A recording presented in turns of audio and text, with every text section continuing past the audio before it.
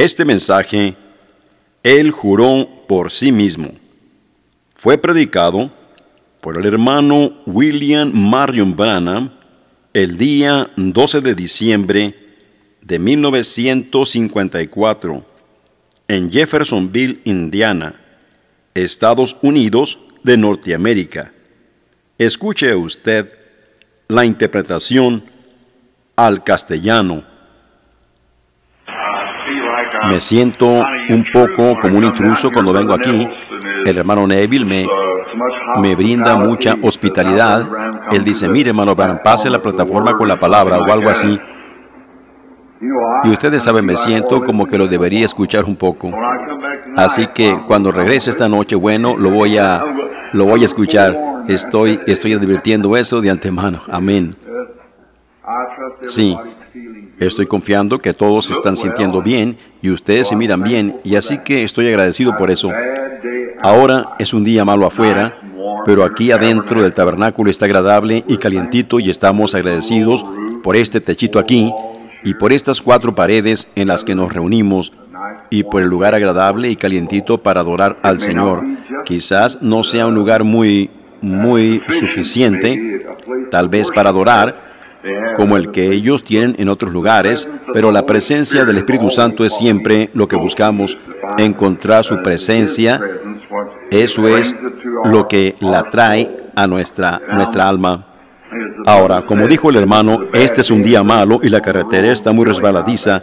Bill y yo allá atrás acabamos de manejar 900 millas de carretera resbaladiza e íbamos como a unas 12, 15, ni siquiera más de 30 millas por hora en ningún momento, solo siguiendo adelante había camiones en las zanjas y cosas, así que sabemos que es muy difícil manejar en estas ocasiones. Así que miren, es solo un pequeño grupo de ustedes, si se quieren acercar más al frente, bueno, en donde ustedes puedan oír bien, bueno, eso, eso está perfectamente bien. Ahora, anoche yo, yo hubiera estaba bastante ocupado. Yo hubiera llamado al hermano Neville para decirle o para que lo anunciara en su programa de la radio y demás, que íbamos a venir esta mañana e íbamos a orar por los enfermos y demás, pero no me pude comunicar con él porque he estado muy, muy ocupado desde que regresé y me estoy preparando para salir otra vez ahora para Chicago, para las reuniones allá e iremos a Phoenix y a la costa del oeste. Ahora tuvimos una reunión maravillosa en Bing, Bingham, Binghamton, Nueva York. No puedo pronunciar eso. B-I-N-G-H-A-M-T-O-N. Es Bing, Binghamton. Ajá. Y es un, yo lo quiero pronunciar Binghamton. B-I-N-G. H-A-M-T-O-N. ¿Ven? Binghamton. Pero ellos lo pronuncian Binghamton. Usted está correcto, hermano Yanni. Oh, ¿viven cerca? Bueno, qué bien. Estuvimos en el auditorio Endicott. Sí, usted sabe en dónde está ese, en Johnson City. Tuvimos una, ciertamente una reunión maravillosa allá a pesar que empezamos rápidamente, ustedes saben, y, y, sin preparación. Ellos solo me llamaron un día y tenía todos esos lugares a donde ir. Sin embargo, el Espíritu Santo dijo, ve allá. Y vi por qué fue así. Era entre un grupo, mucha gente católica allí y demás, y ciertamente fue una gran cosa increíble para esa gente. Y ahora ellos solo, estuve ya como unas seis o siete noches, y ahora están hambrientos y sedientos, y, y ellos quieren arreglar una reunión o poner una carpa y que regresara para eso. Ustedes saben cómo es. Así que yo les dije o que yo iría o que les enviaría a alguno de mis hermanos, al hermano Biller o a alguien del resto de ellos que quisiera ir para tener una reunión con ellos allá en alguna ocasión. Ahora estoy muy dirigido, por supuesto, siempre mi corazón arde por ultramar.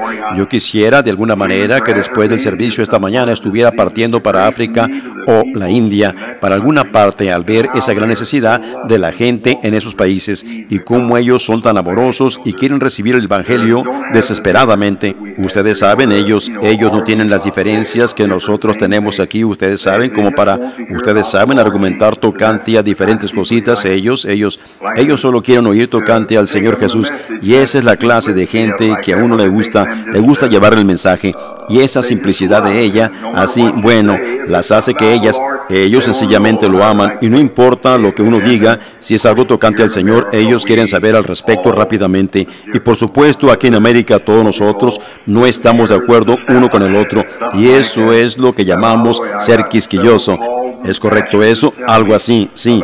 Entre paréntesis a esto, yo recibí varias llamadas de pastores contándome tocante un hermano que escribió un libro y como que me dio una buena reprendida. Ahora, eso está bien, yo no conozco al hermano y él no me conoce, así que eso está bien. Él tal vez sea un buen hermano y solo es un malentendimiento. Ustedes saben, ustedes saben cómo un hombre, uno fácilmente puede hacer eso. Ustedes saben solo ser malentendido pero nosotros creemos en sanidad divina y orar por los enfermos, y tal vez el hermano también lo cree, pero él solo, ustedes saben cómo es eso, ellos reciben pequeños malentendimientos como ese, y yo no he conocido al hermano querido, si yo hablara con él y él hablaría conmigo, probablemente nos amaríamos uno al otro, ¿ven ustedes? Así que de todas maneras no importa. Ahora, así que ahora queremos abrir a los evangelios y leer un poquito esta mañana de, de la palabra. ¿No les gusta la palabra? Sí, eso, eso es. Ahora en, hemos estado en el capítulo 10 por los últimos cuatro o cinco meses, creo yo, y así que empecé esta mañana. Yo pensé, bueno, mira, ¿qué si el hermano Neville me llama para que diga algo esta mañana? En donde me quedé en el capítulo 10 y empecé a mirar y había terminado el capítulo 10 después de varios meses. Así que yo dije, bueno, empezaré en el capítulo 11 y sucedió que miré allí y ese es uno de mis favoritos. Ustedes saben, estoy temeroso de que yo dije, no, no, empezaré allí porque me quedaría allí por dos años con cada uno, cada uno allí de esos héroes de fe. Ustedes saben como nosotros, para tomar ese capítulo 11, para darle lo que se merece, tendríamos que regresar y tomar el principio de la creación y traer eso hasta aquí. Eso nos tomaría dos, tres semanas y luego Enoch, cómo caminó con el Señor, eso nos tomaría unas cuantas semanas, ustedes saben, para salir de esos dos versículos. Y luego viene Noé después de eso y luego Abraham y así siguen. Oh hermanos, si entráramos en Abraham, es, es difícil decir cuánto tiempo estaríamos allí, estaríamos yendo de un lado al otro y de un lado al otro. Y así que en un tema como ese debería debería ser en alguna ocasión cuando estemos teniendo un avivamiento y una serie de temas como ese y solo mantenernos estudiando el capítulo 11. Así que yo pensé, bueno, nosotros, si fuera y empezara el primer capítulo, y eso sonaba muy bien. Me gusta la enseñanza de Hebreos porque es, es profunda y rica, y yo, yo estoy seguro que todos ustedes aman eso. Así que yo pensé que leeríamos un poquito del capítulo 7, quizás esta mañana, por favor, y abran a él, y tomaremos una pequeña base para nuestra plática y, y empezaremos con unos cuantos versículos allí en el 6, como que cuadra con ello, porque está relacionado a un gran tema de Melquisedec, el rey de Salem, y quién era él, y qué relación tenía con Cristo. Y, y, él no tenía padre, ni madre, ni principio de días, ni fin de vida. Él nunca tuvo un principio, él nunca principió y él nunca terminará. Él nunca tuvo un padre, ni madre, ni descendientes, y él, él era el rey de Salem. Me pregunto quién era este que Abraham encontró, el que él encontró. Ahora regresaremos en un ratito, pero miren, abrimos las páginas así, ¿ven? Pero únicamente hay uno que la puede abrir. Y ese es el Señor Jesús. ¿No es eso correcto? Ninguno, ni en el cielo, ni en la tierra, ni debajo de la tierra podía, ni era digno de abrir el libro, ni de desatar los sellos. Pero cuando Jesús vino, Él tomó el libro de la mano derecha, de la mano de Dios, y tomó el libro y desató los sellos, y se sentó a la diestra de Dios, y, y únicamente hay uno que lo puede hacer. Así que ahora sí, Él es el único que lo puede hacer. Ahora, mis ideas se desviarían quizás a un millón de millas y las ideas de alguien más se desviarían mucho, pero confiaremos que Él tomará, Él permitirá, permitirá que sus ideas sean nuestras esta mañana. ¿Es correcto eso? Y entonces hagamos lo mejor que podamos. Yo haré lo mejor que pueda para explicarlo. Ahora, no es con previo estudio, sino absolutamente solo venimos aquí y abrimos la palabra. Y solía ser que cuando veníamos y teníamos estas lecciones, nosotros, nosotros las premeditábamos para la semana que venía, lo hacíamos en serie. Y yo tenía escrituras anotadas de todas partes, por toda la escritura, toda cosita que yo podía durante la semana. Yo iba al cuarto y me sentaba allí y, estudiaba y meditaba y, y, sobre la palabra. Y mientras que el Espíritu Santo me daba algo, yo, yo lo escribía y yo me quedaba y pensaba otra vez. Luego lo escribía lo que Él me decía. Luego el domingo venía aquí y tenía hojas de papel por todos lados del y ustedes tenían que tener una libreta para seguir con ellas, para escribirlas. Y cuando notaban las escrituras, luego durante la semana la gente estudiaba eso y las comparaban y hay tal, hay Un texto, ustedes saben, es una cosa maravillosa, pero el contexto es lo que hace que el texto se magnifique. Ven ustedes, el, es el contexto del texto. Así que en esto nosotros, nosotros hoy solo venimos y en donde sea, solo, solo continuaremos un ratito y confiaremos en el Señor que nos ayude. Ahora inclinemos nuestros rostros. Ahora, nuestro bondadoso Padre Celestial, estamos agradecidos por todo lo que tú has hecho, especialmente, Señor, por perdonar nuestros pecados, manteniendo las enfermedades y aflicciones apartadas de nosotros. Estamos tan contentos por eso y el privilegio que tenemos de congregarnos aquí en la casa de Dios en esta mañana de invierno para adorarte en la belleza de tu santidad. Oh, cuánto te amamos, sabiendo que tú nos has lavado por medio de tu propia sangre y nos has presentado delante de Dios sin faltas irreprensibles como nuevas criaturas en Cristo Jesús, esperando el tiempo que venga cuando lo miraremos como Él es y tengamos un cuerpo como el de Él. Oh, anhelamos esa hora. Y ahora, mientras nos hemos congregado hoy, te damos gracias que tú nos has dado un viaje sin contratiempos hacia Nueva York y de regreso. Gracias que estuviste con la iglesia aquí durante ese tiempo y muchas de las cosas oh, miles de esas grandes bendiciones por las que tenemos que darte gracias y tú las sabes todas ellas y nos inclinamos para alabarte. Toma la palabra esta mañana, Padre. Bendice la hora. Bendice a la iglesia, bendice al pastor, Dios seas con él y oh Dios, hazlo una bendición para millares, los diáconos de la iglesia, los síndicos, los miembros, el laico, todos, seas con ellos.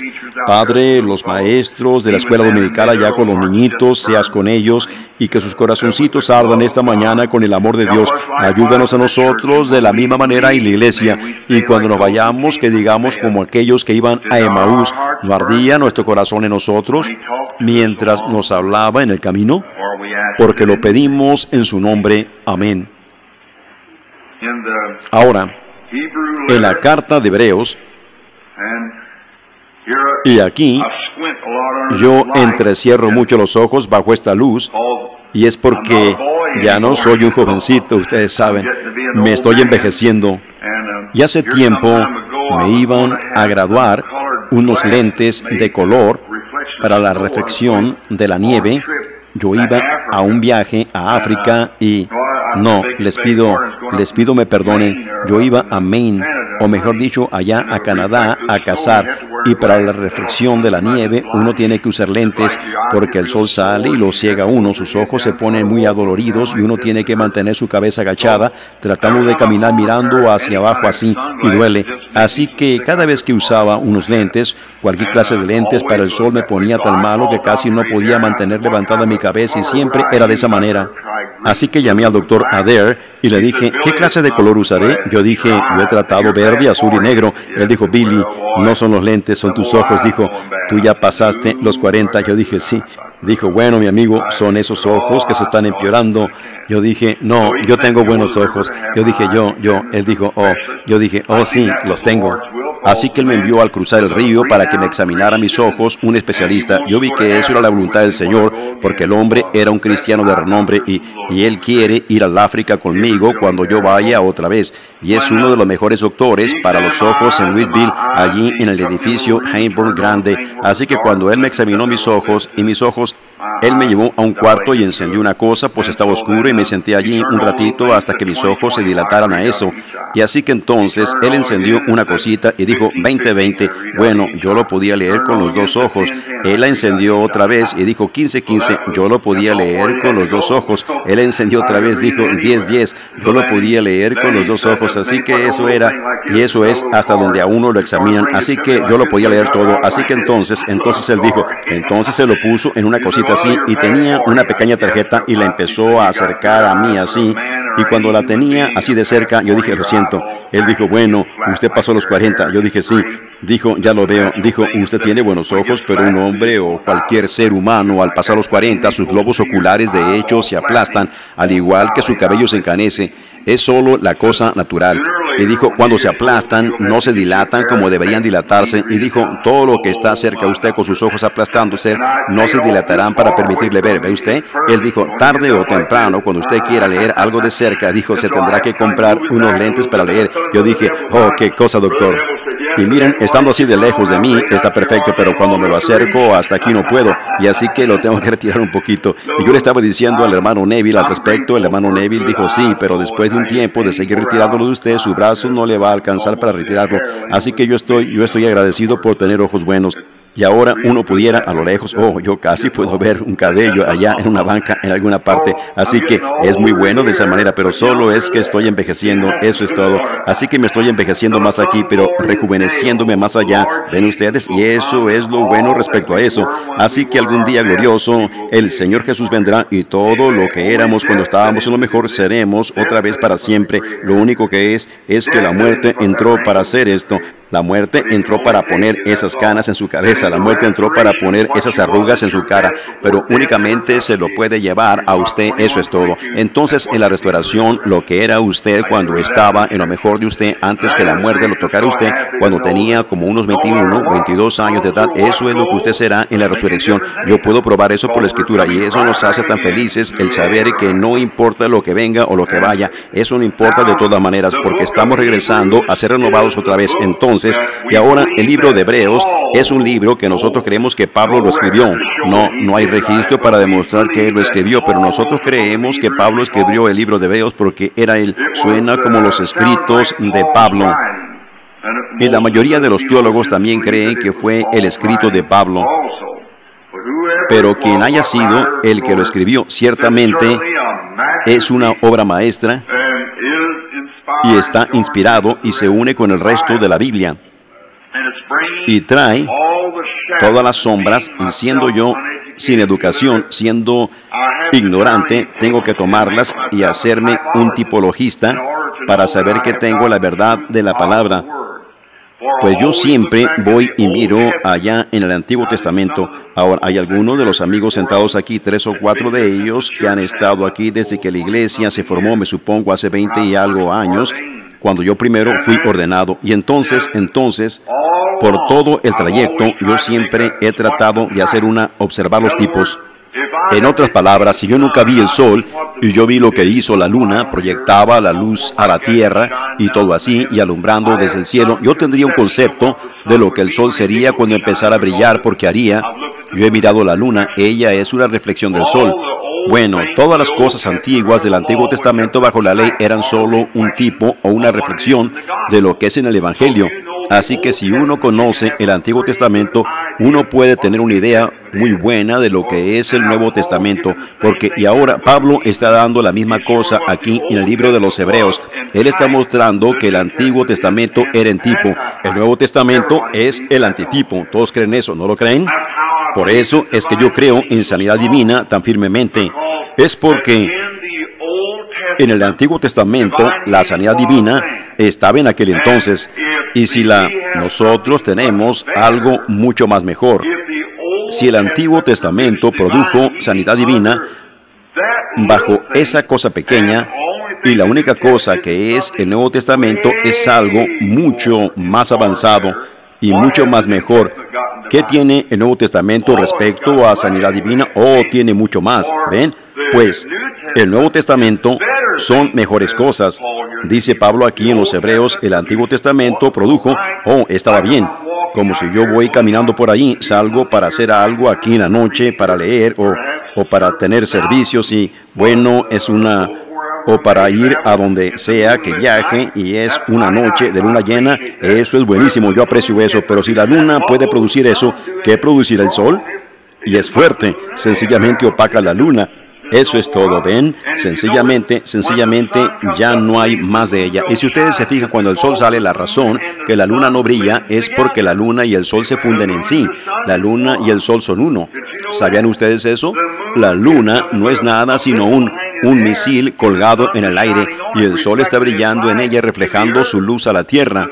El sol está brillando por medio de la luna en la luna para reflejar.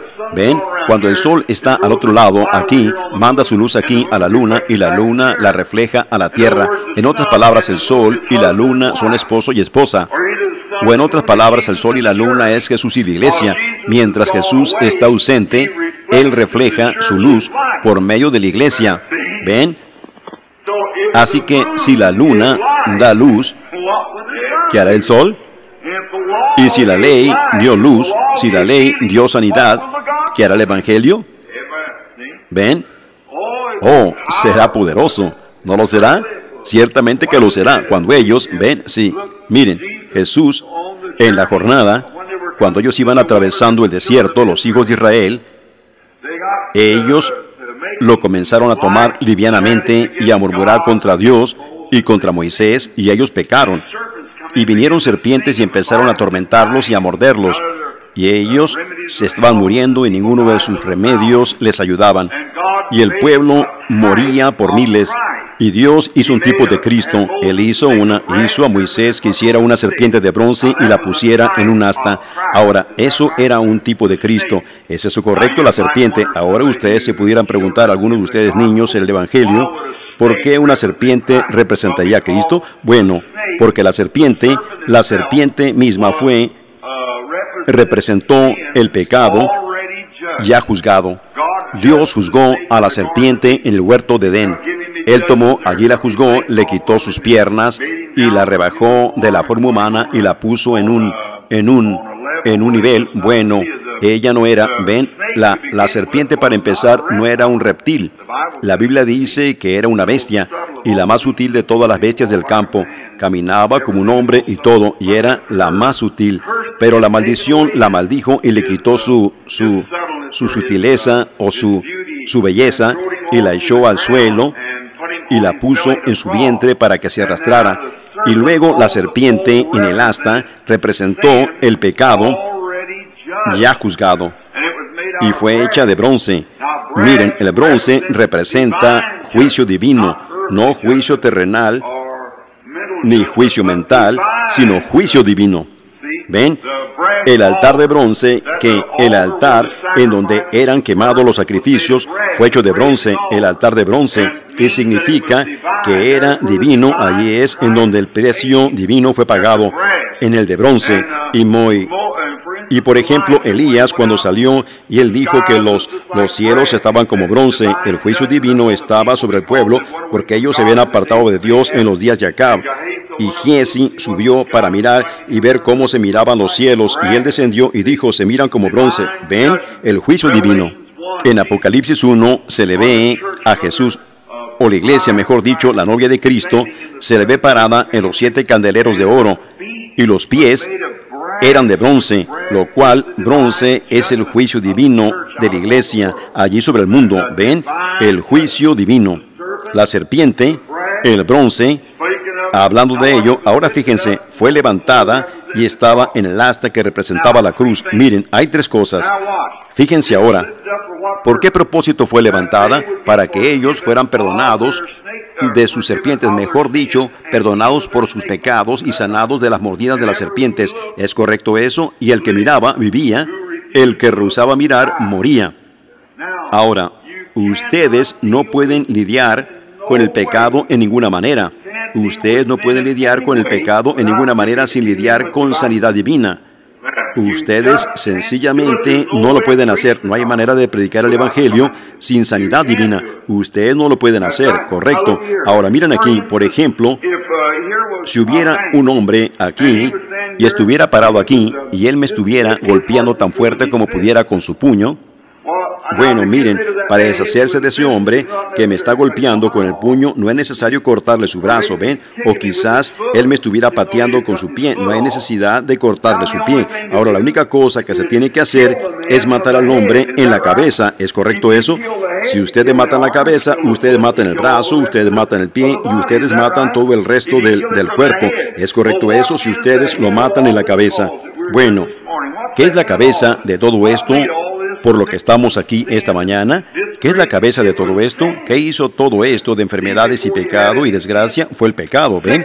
Antes que ustedes tuvieran algún pecado, la enfermedad es un atributo o algo que sigue al pecado. Si ustedes no tienen, en otras palabras, es algo que proviene del pecado. Ven, antes que hubiera algún pecado, no había enfermedad ni nada, ni preocupación, ni nada, ni vejez, ni quebranto, ni angustias, ni hogares destrozados, ni nada. Ven, era sencillamente perfecto. Bueno, lo que lo causó fue el pecado. P-E-C-A-D-O. Bueno, entonces la enfermedad siguió al pecado. Hogares destrozados, los atributos, vivir inmoralmente y todas esas cosas siguieron al pecado.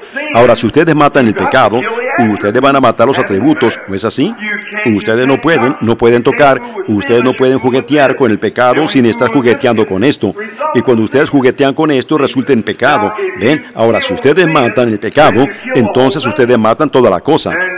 Y miren, miren, Ustedes dicen que las enfermedades, algunas veces ustedes se enferman y dicen, pequé yo, o pudiera no ser usted el que pecó, pero recuerden que las enfermedades visitan las iniquidades de los padres sobre los hijos y los hijos de los hijos y sus hijos hasta la tercera y cuarta generación, ¿ven? Y solo es un agotamiento, un desgaste de los cuerpos humanos y el pecado acumulándose y demás, como la veneria y demás que visita a través de las generaciones. Hace tiempo aquí, un famoso doctor aquí tenía dos hijas que las llevaron y las examinaron ellas estaban quedando ciegas y ellos se dieron cuenta que era por enfermedad venérea. Eran unas damitas tan limpias y morales como podían ser aquí en esta ciudad y las dos estaban quedando ciegas y ellos no sabían qué hacer. Ellos les hicieron lentes y empeoraron y les dieron una prueba de sangre y ahí estaba y ellos lo investigaron en el pasado y era su tatarabuelo. Ven, de allí venía. Ahora ven, pasa a través de las generaciones, las quebranta. Bueno, entonces cuando ustedes están lidiando con el pecado, ustedes están lidiando con enfermedades al mismo tiempo. Miren, Moisés levantó la serpiente. Jesús dijo en San Juan 3, como Moisés levantó la serpiente de bronce en el desierto, así es necesario que el Hijo del Hombre sea levantado. ¿Es correcto eso? En otras palabras, esa era la luna para el sol, era la sombra de lo que venía. Bueno, si la sanidad divina estaba en levantar la serpiente de bronce, tiene que estar en levantar a Jesucristo porque era, pues todo lo que era la serpiente era una reflexión de Jesucristo. En el pecado ya juzgado, en juicio divino, el juicio divino de Dios, no el juicio. El mundo lo juzgó a él y lo mató, pero el juicio divino de Dios hizo pecado a una persona inocente. Amén. Y, y, lo juzgó allí mismo. ¿Lo ven ustedes? Y Él llevó nuestro, nuestro juicio divino y tomó mi pena, tomó los pecados de ustedes y la culpa de ustedes y el boleto de ustedes al infierno y el boleto de ustedes al tormento y lo tomó sobre Él mismo y murió en nuestro lugar y fue enviado al infierno en mi lugar. Amén.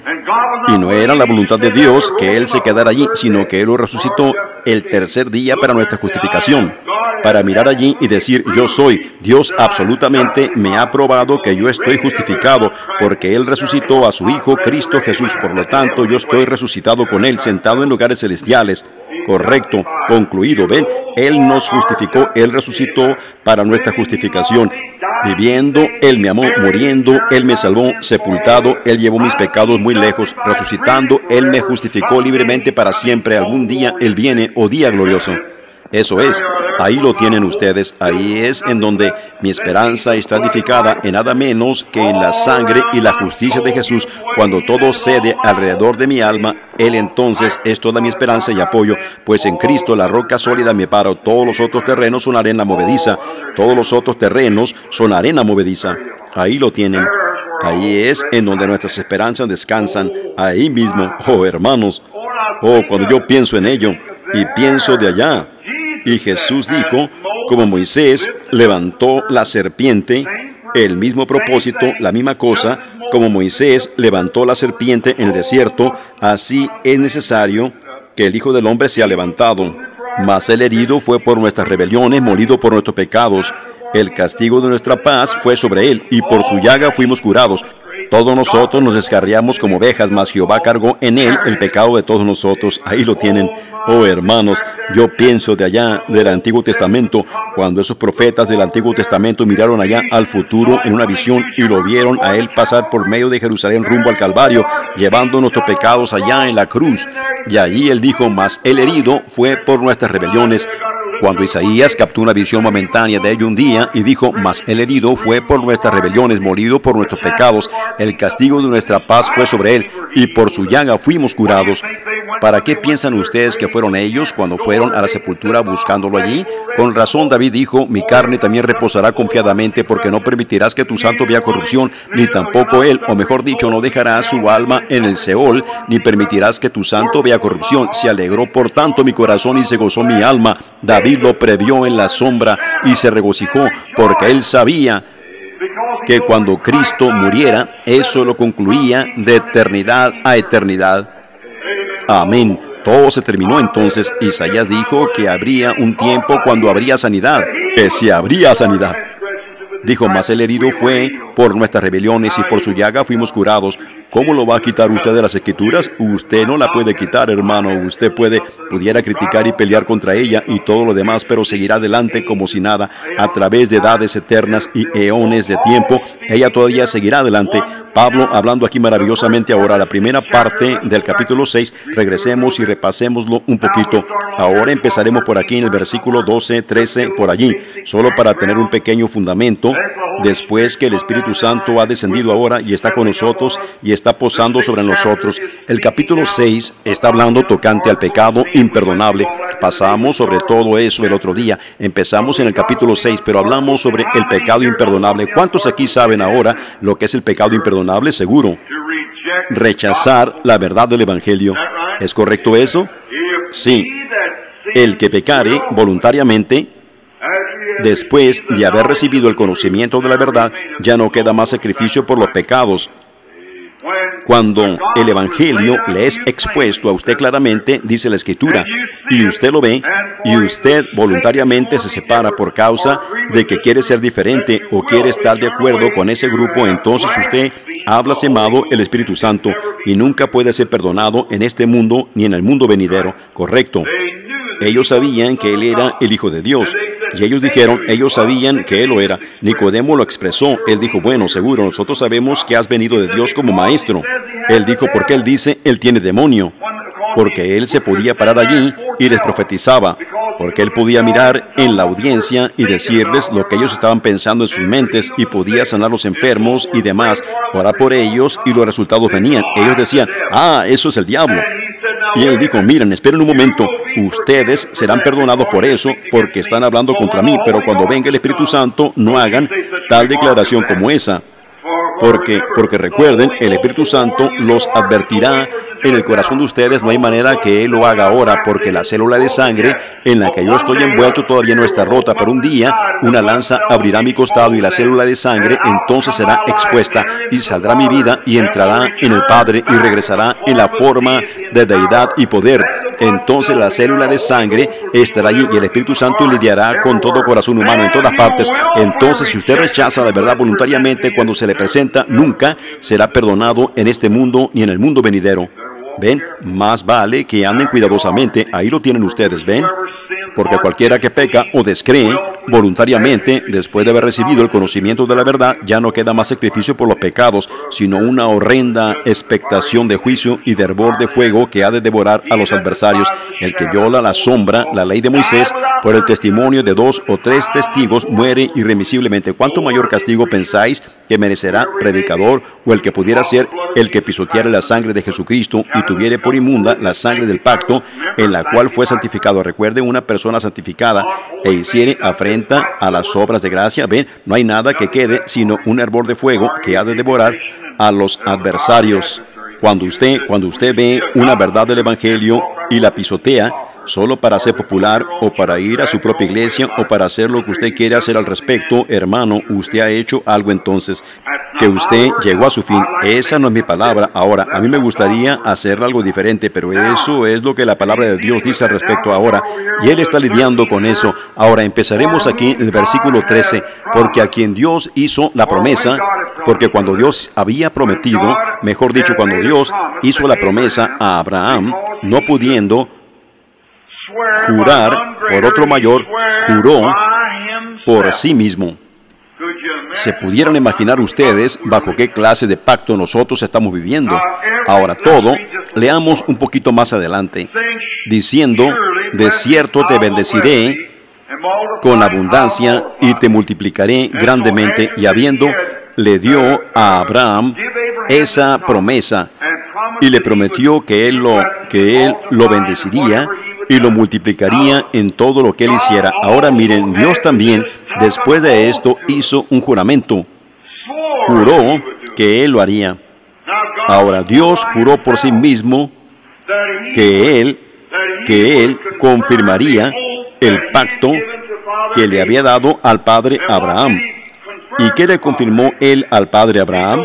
Él le dijo a Abraham, él le dio a él el pacto incondicionalmente. No era porque Abraham era Abraham. Pasamos por eso hace unas semanas, ustedes saben. Él le dio a Abraham el pacto porque Dios mismo escogió a Abraham y lo eligió a él antes de la fundación del mundo. Abraham, antes que hubiera nacido en la tierra, Dios sabía todo tocante a él, sabía lo que él haría y por gracia él escogió a Abraham y no únicamente a Abraham, sino a la simiente de Abraham después de él. Oh hermanos, si ustedes, cuán firme fundamento tenemos cuando el príncipe de todos los príncipes, cuando el Dios de todos los dioses, cuando el Rey de todos los reyes, el Señor de todos los señores, el principio de todos los principios, Él mismo hizo un juramento por sí mismo, porque no hay uno más grande que Él confirmaría este pacto con Abraham y con su simiente. Ahora, oh, esto como que los pudiera desarraigar, sacar, empujar, agotar. Enfrentémoslo y veamos cómo se mira. Si es necesario, regresaremos y tomaremos el pacto abrahámico que Dios hizo con él y cómo Dios juró por sí mismo. ¿Sabía alguien en dónde juró Dios por sí mismo? Hablamos ahora en Génesis, el capítulo 22, creo yo, y como el versículo 16. Miremos en Génesis el capítulo 22 y el versículo 16 y veremos aquí donde Dios juró por sí, sí mismo. Muy bien, creo que este es, si no me equivoco, directo al lugar. 22, 16, sí. Miren el versículo 15. Y llamó el ángel de Jehová a Abraham por segunda vez desde el cielo y dijo, por mí mismo he jurado, dice Jehová, por cuanto has hecho esto y no me has rehusado tu, tu único hijo, de cierto te bendeciré y multiplicaré tu descendencia como las estrellas del cielo y como la arena que está a la orilla del mar. Y tu descendencia poseerá las puertas de sus enemigos. Dios juró por sí mismo. Aleluya. Si eso no hace a un hombre sentir como gritar, aleluya, no hay, usted está muerto, correcto. Oh, Dios dijo a Abraham, porque tú has hecho esto, no lo que alguien más hará, sino porque tú hiciste esto. Por fe tú caminaste y yo he honrado esa cosa allí. Ya no honraré obras, yo no honraré eso, yo honraré la fe. Y porque tú has hecho esto sin saber cuál sería el resultado, yo te he salvado, yo salvaré a tu simiente, yo juraré por mí mismo. Amén. Y tu simiente poseerá las puertas de su enemigo. Amén. Eso lo concluye para mí. Eso solo, eso, eso es todo lo que se tiene que hacer. Aquí Pablo lo toma aquí otra vez en los Hebreos para referirse a ello. Oh, ellos lo tomaron en los Gálatas, en los Efesios y en los otros libros refiriéndose a eso, que nuestro fundamento es sólido. Amén. No alguna formación mítica, algo sobre alguna superstición pagana, sino es, así dice el Señor, por medio de un juramento. Amén. Dios juró por sí mismo. Oh, hermanos, cuán firme fundamento tienen ustedes santos del Señor. Sí, cuando los demonios vienen, cuando los poderes vienen, cuando las enfermedades vienen, cuando la muerte misma lo mira fijamente en su cara, sencillamente pierde su lugar, se derrite como la nieve en el calor del sol, cuando lo ponemos allí en la luz del Evangelio. Si ustedes se fijan, hermanos, algunas veces ustedes toman, muchas veces la gente escribe toda clase de cosas que corre a la gente de la iglesia pentecostal a la iglesia católica, porque los católicos creen que la palabra está inspirada. Ellos la creen. Ellos creen que Marcos 16 está inspirado, absolutamente. Ellos dicen que está inspirado, pero ven, el diablo trabajó en eso. Dice la iglesia está por encima de la palabra. Bueno, entonces viene un protestante y él ve algo que no, alguna pequeñez que ellos no, con la que él no está de acuerdo. Bueno, él dice, esto no está inspirado, esta es la interpretación errada de la palabra, solo está tratando de impresionar, ven, que se ancle o que cuadre con alguna teología especial de la gente. Ven ustedes, eso no tiene nada que ver con ello. Esa es la palabra de Dios. Yo creo toda palabra de ella. Es, no son mis negocios cortar esto, eso. Son mis negocios vivir de acuerdo con sus calificaciones. Eso es todo. De acuerdo a sus requisitos, mejor dicho. Sí, yo tengo que vivir de acuerdo a eso. Pues Dios juró. Y Él dijo, el que añadiere algo a ella o le quitare a ella, su parte será quitada del libro de la vida. ¿No es eso correcto? Así que nosotros lo creemos.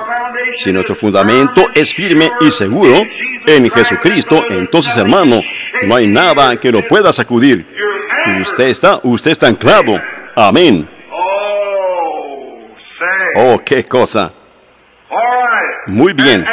Y habiendo, el, el versículo 15 ahora, y habiendo esperado con paciencia, alcanzó la promesa. Oh, qué cosa. Yo no sé si vamos a llegar a ese capítulo 7 o no. Habiendo esperado con paciencia. Amén. Alcanzó la promesa. ¿Pueden ustedes hacer la misma cosa esta mañana? ¿Pueden ustedes establecer su fe y decir, ¿es así, dice el Señor? No importa lo que venga o lo que vaya, si es fácil hoy, mañana es difícil y al siguiente día ellos me están molestando, al siguiente día me están haciendo burla, al siguiente día ellos dicen que estoy loco, pero yo lo soporto. Amén. Después, no antes de que Él lo soportó, sino que después de que Él lo soportó, alcanzó la promesa. Amén. Oh, hermanos, ahí lo tienen. ¿Lo ven?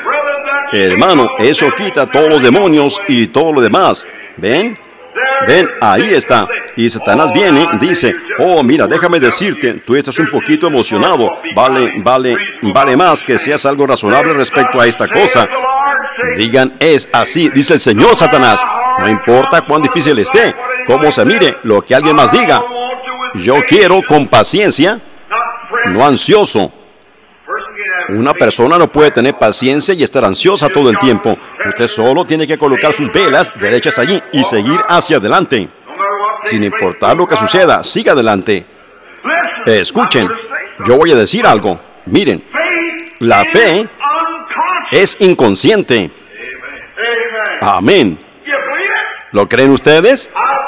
Yo he aprendido eso en los años de viajar alrededor del mundo, reuniéndome con gente de todas vocaciones y condiciones sociales, pero la fe es inconsciente. Ustedes tienen fe y ni siquiera lo saben. Correcto. Jesucristo no importaba si él estaba en una tormenta y el viento fuerte estaba golpeando la barca de un lado al otro, o él estuviera parado frente a un montón de demonios o estuviera en cualquier parte, nunca lo movía él. Él seguía caminando tan calmado y sereno como podía estar. ¿Por qué? Él sencillamente estaba inconsciente del temor o algo alrededor de él. Correcto. O si iba a suceder o si no iba a suceder. Él sabía que iba a suceder porque Dios así lo dijo. Él no dijo, oh, me pregunto si yo oré fervientemente, me pregunto si ayuné el tiempo suficiente, me pregunto si yo hice esto. Él sencillamente seguía caminando inconsciente. Correcto, él creyó que lo que Dios dijo era la verdad. Las palabras deben ser cumplidas y él supo que su vida era para cumplirlas. Correcto. Y ustedes están aquí para cumplirlas también. Solo sigan caminando inconscientes del temor, caminan inconscientes del criticismo, caminan inconscientes del mundo. Caminen mientras caminen en Cristo, caminen con Él. Sin poner ninguna atención a la mano derecha ni a la izquierda, solo sigan adelante. Si alguna cosa surge en la iglesia, caminen con Dios. Aleluya. Si la enfermedad los toca a ustedes, caminen con Dios. Si el vecino no los quiere a ustedes, caminen con Dios. Solo sigan caminando con Dios. Enoch un día caminó así. ¿Saben ustedes lo que él hizo? Él caminó todo el camino hacia el hogar con Dios, subió tan lejos en el camino que ya no quiso regresar. Amén. Caminen con Dios. El doctor dice que ustedes van a morir, caminen con Dios. Sí, el doctor dice que ustedes no pueden. Bueno, caminen con Dios. Solo caminen con Dios, eso es todo. Pues Dios se lo prometió a ustedes. No te dejaré ni te desampararé. Yo estaré con vosotros hasta el fin del mundo. Y él hizo un juramento por ese pacto que él les dio a ustedes, que él lo confirmaría. Entonces solo caminen con Dios. Ustedes tendrán sus altas y bajas, no se preocupen. Ustedes tienen que pasar por terrenos espinosos, por rocas afiladas, sobre acantilados, abajo a los lados de las montañas, arriba por las montañas, por las aguas. Pero caminen con Dios, sí, Señor. Hay tantas montañas para subir. Ustedes han oído esa vieja alabanza. Pero cuán pequeño parecerán cuando lleguen al fin del camino. Qué cosa, qué cosa, solo miren allá, por todo lo que han pasado, miren hacia atrás, a sus huellas, no serán muchas. Habiendo esperado, alcanzó la promesa. Los hombres, porque los hombres ciertamente juran por uno mayor que ellos, y para ellos el fin de toda controversia es el juramento para confirmar confirmación. En otras palabras, cuando los hombres juran, si ellos vienen a usted y hacen un juramento, eso se define toda controversia. Usted lo cree, ¿ve? Por lo cual, queriendo Dios, por lo cual queriendo Dios mostrar más abundantemente, oh, abundantemente a los herederos de la promesa, la inmutabilidad de su consejo, interpuso juramento.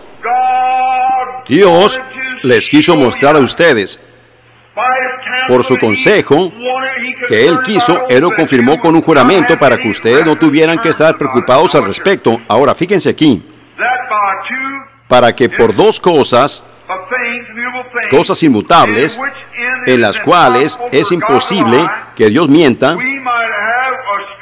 tengamos un fortísimo consuelo, los que hemos acudido para asirnos de la esperanza puesta delante de nosotros. Es absolutamente imposible que Dios mienta. Esa es una cosa, ¿es correcto eso? Ahora, es imposible que Dios mienta. Hay dos cosas.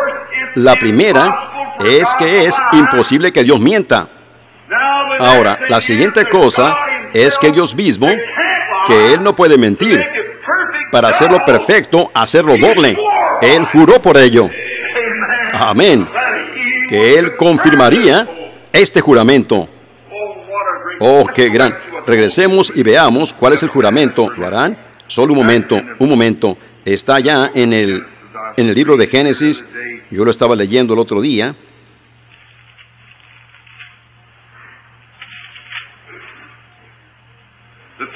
El capítulo 15 de Génesis. Aquí está. Escuchen el juramento que Dios juró. Si ustedes quieren leer algo que los haga sentirse muy bien. Después de estas cosas vino la palabra de Jehová a Abraham en visión diciendo, no temas, Abraham, yo soy tu escudo y galardón será sobremanera grande. Yo soy tu escudo. Si Dios es su escudo, ¿cómo es que el diablo lo va a golpear? ¿Ve? ¿Ve? Yo soy tu escudo. Y tu galardón será sobremanera grande. ¿Y quién es? Yo soy el Señor, tu galardón sobremanera grande. Y respondió Abraham, Señor Jehová, ¿qué me darás siendo así que ando sin hijo? Y el mayordomo de mi casa. Es ese Damaseno Eliezer. Dijo también Abraham, dijo también Abraham, mira, que no me has dado prole, y he aquí que será mi heredero.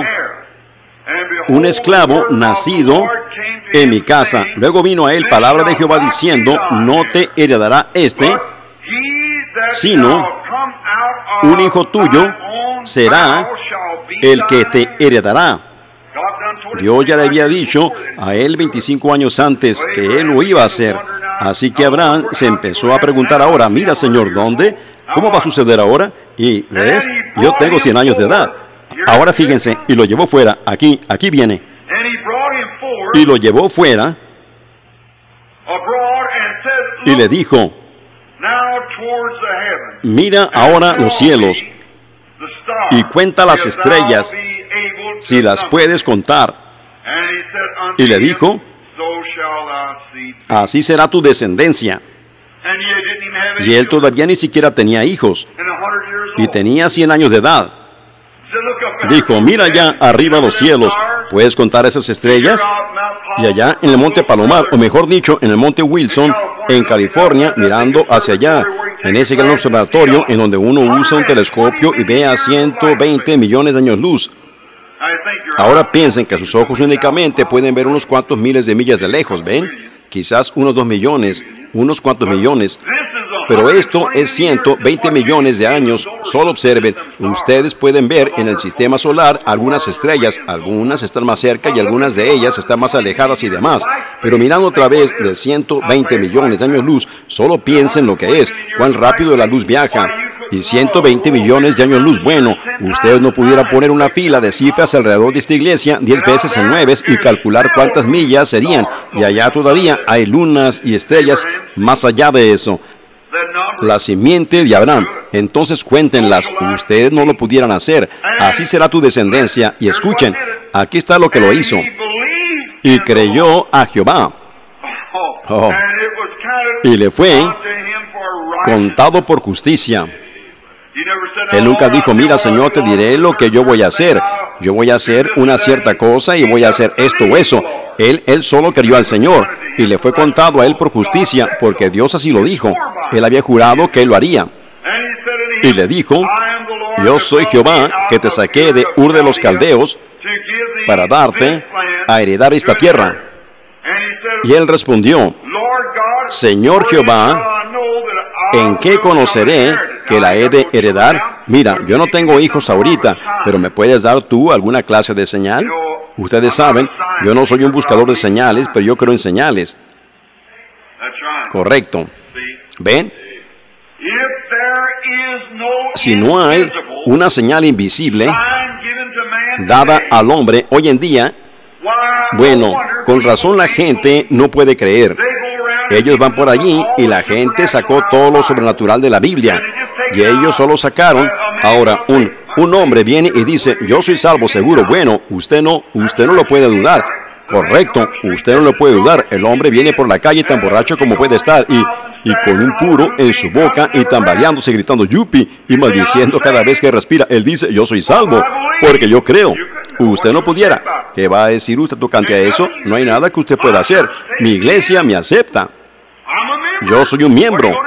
¿Qué va a hacer al respecto? No hay nada que usted pueda hacer correcto. Eso es exactamente correcto. Pero de la única manera que usted lo puede saber es por la señal. ¿Es correcto eso? Eso es exactamente correcto. Usted tiene que ver la señal que lo muestre. Ahora, si es solo por la fe nada más, entonces fe no lo demuestra. Abraham creyó a Dios, eso es correcto. Y le fue contado por justicia, pero Dios le dio a él una señal. Lo circuncidó como una señal, como un sello. Entonces la simiente de Abraham todavía recibe la circuncisión. Ellos la recibieron por todas las edades hasta que la, la luna desapareció, la ley, y el Hijo llegó. Y cuando el Hijo de Dios llegó, Él todavía los circuncidó.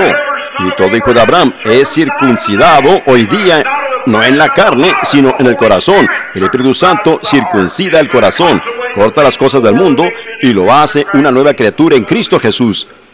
Circuncisión es cortar lo que sobra de la piel. Únicamente los varones podían ser circuncidados. Todos los varones eran los únicos que estaban en el pacto y la mujer estando casada era contada en él. Ustedes tomen hoy en día así.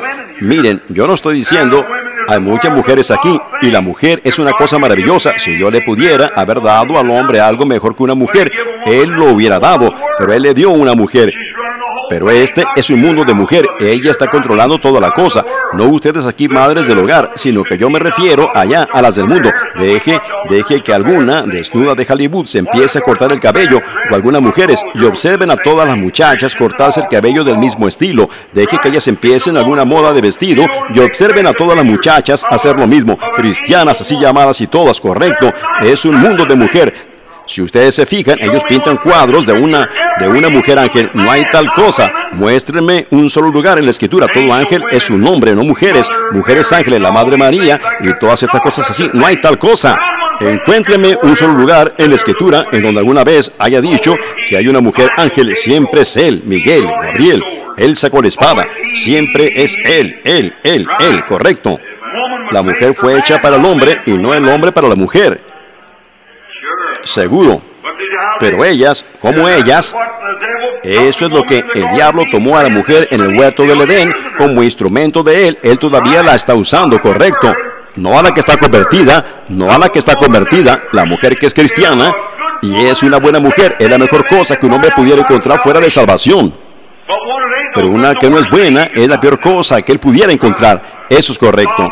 Salomón dijo que una buena mujer era una joya en la corona de un hombre, pero una impía era como agua en su sangre, su sangre su vida. ¿Y qué cosa peor pudiera tener él en su sangre que agua? ¿Lo matará? Miren, fíjense, Dios hablándole a Abraham. Miren, fíjense. Y él respondió, Señor Jehová, ¿en qué conoceré que la he de heredar? Y le dijo, tráeme una becerra de tres años y una, una cabra de tres años y un carnero de tres años, una tótola también y un palomino. Ahí va. Fíjense ahora. Y tomó él todo esto y los partió por la mitad y puso cada mitad una enfrente de la otra. Oh, hermanos, ¿qué, qué significado tiene esto? Mas no partió las aves. Ahora, él partió por la mitad a la becerra y a las cabras, a esos, y puso las piezas una enfrente de la otra, mostrando que ellas cuadrarían de una dispensación a la otra, pero a la tórtola y al palomino él no los dividió. Y descendían aves de rapiña sobre los cuerpos muertos y Abraham las ahuyentaba, mas a la caída del sol sobrecogió el sueño a Abraham. Y he aquí que el temor de una grande oscuridad cayó sobre él. Entonces Jehová dijo a Abraham, ten por cierto que tu descendencia morará en tierra ajena y será esclava allí y será oprimida 400 años. Dios profetizándole ahora a Abraham que su descendencia de tataranietos moraría en una tierra ajena por 400 años y que sería afligida. Designó un tiempo exactamente cuánto tiempo sería. Miren, fíjense, mas también a la nación a la cual servirán juzgaré yo. Y después de esto saldrán con gran riqueza. Y así les sucedió. Y tú vendrás, fíjense, no hablando tocante a completamente, fíjense, y ni siquiera incondicionalmente. ¿Qué? Y tú vendrás a tus padres en paz. Amén. Tú vendrás a tus padres en paz y serás sepultado en buena vejez. No si tú haces ciertas cosas, sino yo ya lo he hecho y puse la marca. Amén. Oh, hermanos, me emociona tanto cuando llego a esto, al grado que mis nervios brincan en mi cuerpo, tal parece. Cuando yo pienso de esa promesa, oh, hermano, yo le estaba diciendo a mi esposa esta mañana, yo la miré y dije, cariño, tú sabes, yo estaba hablando tocante a mi, mi hermano y ellos, como sus, sus hijos, Rebeca King, casi llegando a ser una jovencita. Y, y yo dije, yo quiero tratar de salir de aquí antes que ella entre en esta escuela y demás. Y le hablaba así. Y yo dije, tú sabes que ya no somos niños. Yo dije, yo no lo sé de todas maneras. Yo dije, tú sabes que ya voy a tener 46 muy pronto. Yo dije, yo, yo estoy envejeciendo. Pero, oh, hermanos. Entonces, cuando mi mente piensa en esto, en el juramento prometido de Dios para mí, entonces todo eso se desvanece. Entonces yo solo, todo parece diferente. Ahora, observen, en buena vejez y en la cuarta generación volverán acá, porque aún ha llegado a su colmo la maldad del amorreo hasta aquí. Dios haciendo su promesa, Dios se la dio a Abraham incondicionalmente. Ahora fíjense, cuando él dijo esto, oh, aquí está un cuadro hermoso, si nosotros solo pudiéramos tener el tiempo para terminarlo antes que lleguemos a terminar esto, el cuadro que Dios había hecho. Miren, él dijo, ve y tráeme una becerra de tres años. Fíjense, tres, todo en la Biblia es tres, tres armonizan en uno. ¿Ven? Padre, Hijo, Espíritu Santo, no tres dioses, uno fe, esperanza y caridad. No tres diferentes cosas, sino toda la esencia de uno, amor. Ahora, luego hubo justificación, santificación, el bautismo del Espíritu Santo, no tres dispensaciones diferentes, no tres obras de gracia, sino una sola obra en tres manifestaciones diferentes. El mismo Espíritu Santo con Lutero bajo justificación, estaba bajo Wesley con santificación, está en la iglesia ahora en el bautismo del Espíritu Santo, el mismo Espíritu Santo. No dos Espíritus Santos, el mismo Espíritu Santo. El grano pequeño que salió aquí y la primera cosa cuando el granjero miró, vio esas tres pequeñas hojitas saliendo, maravilloso, él se regocijó. Después de un tiempo, ellos envejecieron y se marchitaron, y su grano siguió. En él está la misma vida que estaba en ese grano de trigo aquí, en el primer tallo, está aquí arriba, en la espiga, y en el grano de trigo exactamente la misma, solo sigue y sigue y sigue y sigue. Y así la iglesia sigue creciendo hacia ese día perfecto cuando Jesús vendrá, ¿ven? El mismo Espíritu Santo, la misma cosa, solo que es una dispensación diferente. Ahora, siguiendo con eso, miren, toma las becerras y las cabras y todo, que debe ser de tres años, las tres dispensaciones diferentes, el oficio del Padre, el oficio del Hijo, el Espíritu Santo, ¿ven? Tres años. Todo era tres años, significaba Padre, Hijo, Espíritu Santo. El mismo Dios que estaba bajo esa dispensación, está bajo esta dispensación, bajo aquella dispensación y será el mismo. Un solo Dios, tres dispensaciones, no tres dioses, sino tres dispensaciones del, del mismo Dios.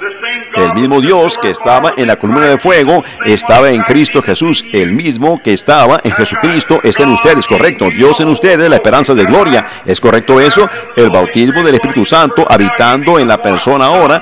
Ustedes llegan a ser, ¿qué? Hijos de Dios. Cuando Dios condescendió y le hizo sombra a la Virgen María, Él era una vida, y una vida le hizo sombra y creó una célula de sangre alrededor de sí mismo. Cualquiera sabe ahora que la célula de sangre proviene de dónde? Del varón. ¿Es correcto eso? La vida yace en la célula de sangre y la célula de sangre proviene del varón, no de la hembra. Y ahí es en donde está la vida, en la esperma masculina. Fíjense. Entonces Dios mismo entró al vientre de la Virgen María y él mismo se envolvió en una célula de sangre criada. Aleluya. Esa es la razón que nosotros tenemos vida eterna. Entonces, cuando esa célula de sangre, debido al pecado, fue traspasada con una espada ya y fue rota, liberó a Dios allí y abrió completamente la célula de sangre y nos lavó y nos trajo dentro de sí mismo por el Espíritu Santo. Ahí lo tienen ustedes y ahora somos hijos de Dios, parte de Dios. La deidad misma vive en cada creyente. Todo hombre que es nacido del Espíritu de Dios es parte de Dios. Con razón, Él cree en lo sobrenatural. Con razón, Él puede creer en todo. Porque es, en Él hay una porción de Dios envuelta allí, en ese cuerpo mortal, en donde hay pecado y todo lo demás ha creado este cuerpo. Pero allí adentro, alguna obra solo de Dios en regeneración ha llegado allí por el derramamiento de su propia sangre y ha quitado esa sangre que estaba allí como un medio y la ha puesto a un lado y entró en este hombre pecaminoso y ha puesto en él una esperanza por la cual moriría tan libremente como él se pararía allí. Le habla a él, seguro que lo cree. Jesús dijo, estas señales seguirán a los que creen. En mi nombre echarán fuera demonios, hablarán nuevas lenguas, tomarán en la mano serpientes, y si bebieren cosa mortífera sobre los enfermos pondrán sus manos y sanarán. Jesús dijo eso. Bueno, Él ha llegado a ser parte de Él. Sí, Señor. Dios está en el instante para liberar. Él abrirá un camino. Cuando no hay camino, Él abrirá un camino. Y cualquier hombre que cree en Él cree la misma cosa. Él no tiene que creer. Él es parte de Dios. Él es linaje de Dios. Él es un hijo de Dios o una hija de Dios. Y Él no puede hacer nada más porque Dios está con Él. Él es sencillamente una porción de Dios. Miren, todo lo que Dios era en la columna de fuego, Él lo vació en el Hijo Jesucristo. En Él habita corporalmente toda la plenitud de la deidad. ¿Es correcto eso? La Biblia dice que Dios, D-I-O-S, Él mismo, Jehová, el poderoso, el broquel, el escudo, todos sus nombres redentivos, todo lo que Él era, Él lo vació en Jesucristo. Y Jesucristo nació de una célula de sangre y la cubierta exterior de la célula en sí, la cual es billones y billones de veces más pequeña que lo que un ojo humano puede ver. Pero ese era el cuerpo, el Señor Jesús. Dentro de eso estaba Dios mismo. Él mismo se envolvió alrededor de la célula de sangre con el fin de tomar su propia sangre y derramar su propia sangre o, o, darla gratuitamente para que nosotros, al romperse esa célula de sangre en nuestro cuerpo mortal, cuando ella se rompe y nuestras vidas parten de aquí y salgan por medio de la redención de, de la sangre que Dios requirió, nosotros podamos ser llevados dentro de ese cuerpo y llegar a ser parte de Dios mismo como un hijo de Dios. Hermano, si usted puede digerir eso, de seguro le hará bien. Quisiera que yo tuviera alguna manera para, para mostrarle lo que es. Solo piensa en Dios, Jehová, descendiendo al vientre de una mujer, a la que le hizo sombra, descendiendo en el, mire, en el espíritu, y Él está ahí adentro. Es Él, Él es el Creador mismo, Él hizo a la mismísima mujer y, y el vientre en el que Él estaba ahí. Dios mismo se hizo pequeño, descendió y entró dentro de esa célula de sangre y Él empezó a formar algo alrededor de Él. ¿Qué era? ¿Ven? ¿Qué? ¿Qué causó esta cosa allá en el principio? La sangre. La sangre, la vida estaba en la sangre y allá eso es lo que lo causó en el principio. Ahora, para quitarlo, Dios mismo tiene que descender. Y él mismo se hizo muy pequeño, entró al vientre de María y crió alrededor de él mismo una pared, lo cual fue la célula de sangre. No había ningún nombre, no había nada de eso. En eso creó esa célula de sangre. Esa célula de sangre creó a otra, a otra, a otra. Y todos los nervios y todos empezaron a formar. Y Dios mismo viviendo en esto estaba haciendo un tabernáculo y él moró en Cristo. Ahí está Dios caminando por allí. Él dijo, yo y mi Padre somos uno, mi Padre está en mí. Dijo, muéstranos el Padre. Felipe dijo, muéstranos el Padre y nos basta. Dijo Felipe, tanto tiempo hace que estoy con vosotros y no más conocido. Él dijo, cuando tú me ves, tú ves al Padre. ¿Y cómo pues dice, muéstranos el Padre? Yo y el Padre somos uno. Mi Padre está viviendo en mí ahora. No soy yo el que hace las obras, sino es Él el que mora en mí. Él hace las obras. Oh, hermanos, ¿Cómo le pudiera decir yo a un hombre lo que está mal en él? ¿Cómo le pudiera decir cuál será su futuro en 10 años o lo que él era hace 40 años? No soy yo. Aleluya. Es Él que vive en mí, que descendió y a través de su sangre me trajo en compañerismo con Él. Aleluya.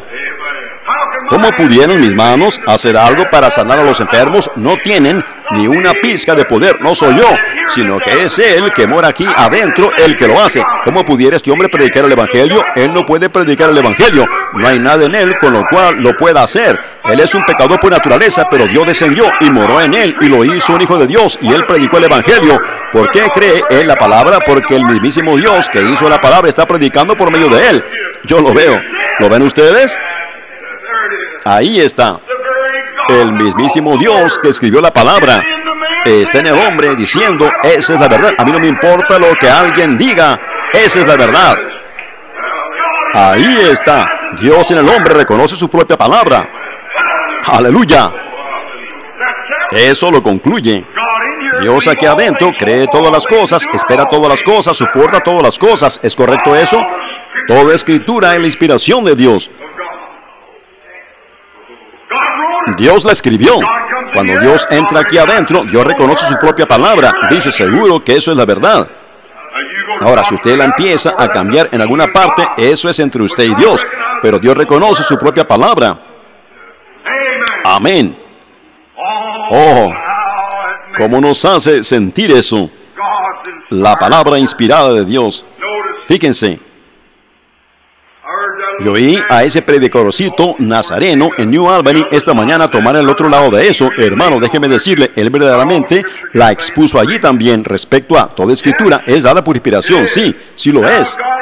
Ahora, Dios ha hecho una promesa y él le dijo a Abraham lo que él haría. Él tomó su juramento, él juró por sí mismo, pues no había ninguno mayor. Así que Dios mismo, todo lo que estaba en la columna de fuego, estaba en Cristo Jesús. Pues Dios, dice la Biblia, la Biblia dice que Dios se vació.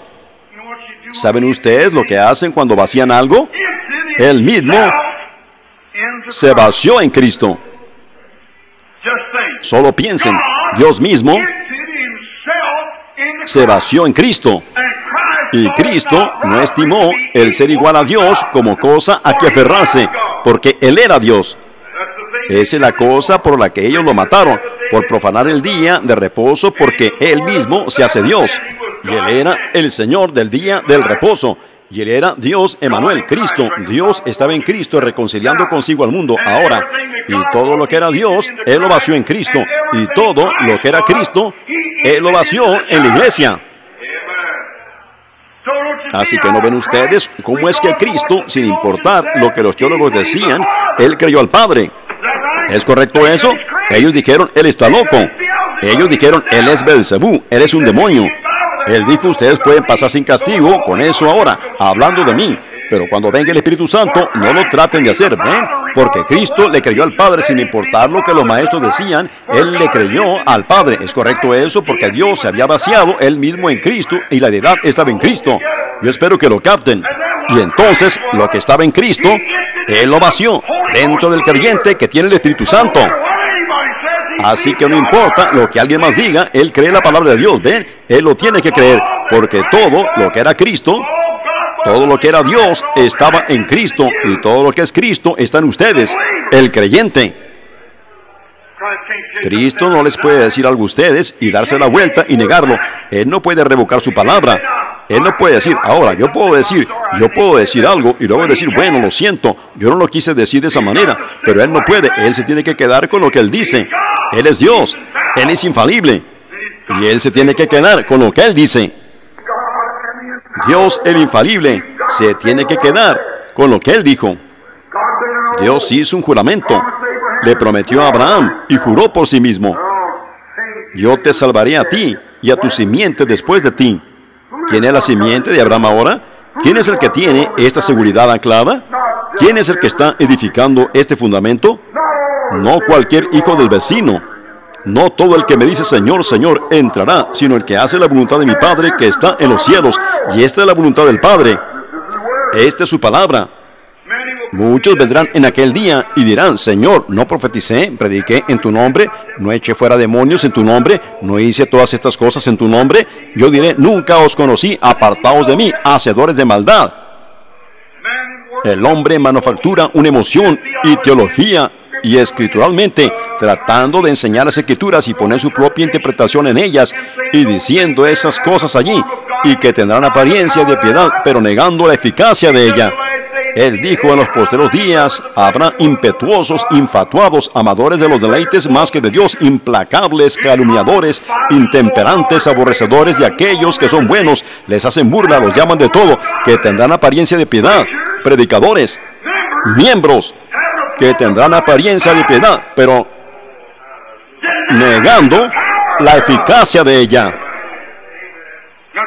Eso es, dijo, a esto se evita porque de estos son los que se meten en las casas y llevan cautivas a las mujercillas arrastradas por diversas concupiscencias, toda clase de concupiscencias. Bueno, ellos gritan por toda cosita que viene, pero un cristiano nacido de nuevo sabe en dónde ellos están parados. No hay nada que los mueva a ellos. Ellos van caminando directo al Calvario. Ustedes tienen muchos imitadores a lo largo del camino, correcto, pero hermano, eso únicamente muestra que hay alguien que realmente lo tiene. Tenemos dólares falsos e imitaciones, pero eso únicamente muestra que hay un dólar verdadero. Quédense con eso, sigan adelante. Abraham después que él había esperado, él había esperado, estando en la gran batalla de fricción y demás. Él alcanzó la promesa después que él había esperado. Él dijo como Janes y Jambres resistieron a Moisés. Bueno, miren lo que Janes y Jambres podían hacer. Ellos casi podían hacer las mismas cosas que Moisés hizo, pero únicamente había una cosa que ellos no podían hacer. Ellos no podían sanar a los enfermos. Esa era la única cosa que mostró la diferencia entre ellos. Moisés podía arrojar su vara al suelo y se volvía una serpiente. Ellos también podían. Y, y Moisés podía hacer que vinieran pulgas sobre la tierra. Ellos también podían. Y Moisés podía hacer que saliera sarpullido con úlceras sobre hombres y bestias, y ellos también podían, pero ellos no las podían quitar. Ellos únicamente podían hacer que salieran, pero no las podían quitar, pero Moisés podía, mostrando que Dios es el sanador. Y la salvación, ellos, la imitación de la salvación, partía por la mitad los animales, lo cual cualquiera sabe que la becerra y la cabra y el carnero y todo eso eran tipos de la salvación.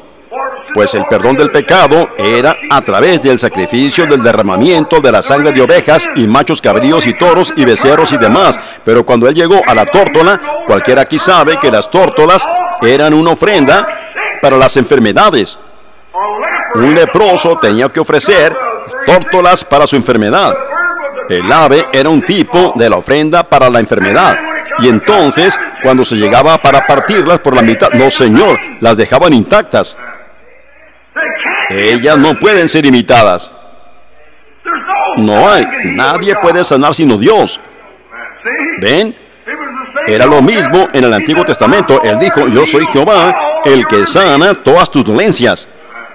Usted puede salir y actuar como un hipócrita, decir, oh, yo soy salvo, gloria a Dios, sí Señor, yo lo tengo, y usted pudiera estar engañado, pero hermano, cuando llegue el momento de que usted esté enfermo y de que sana o no, eso muestra por sí mismo lo que es, eso muestra si usted tiene fe o no, ¿es correcto eso?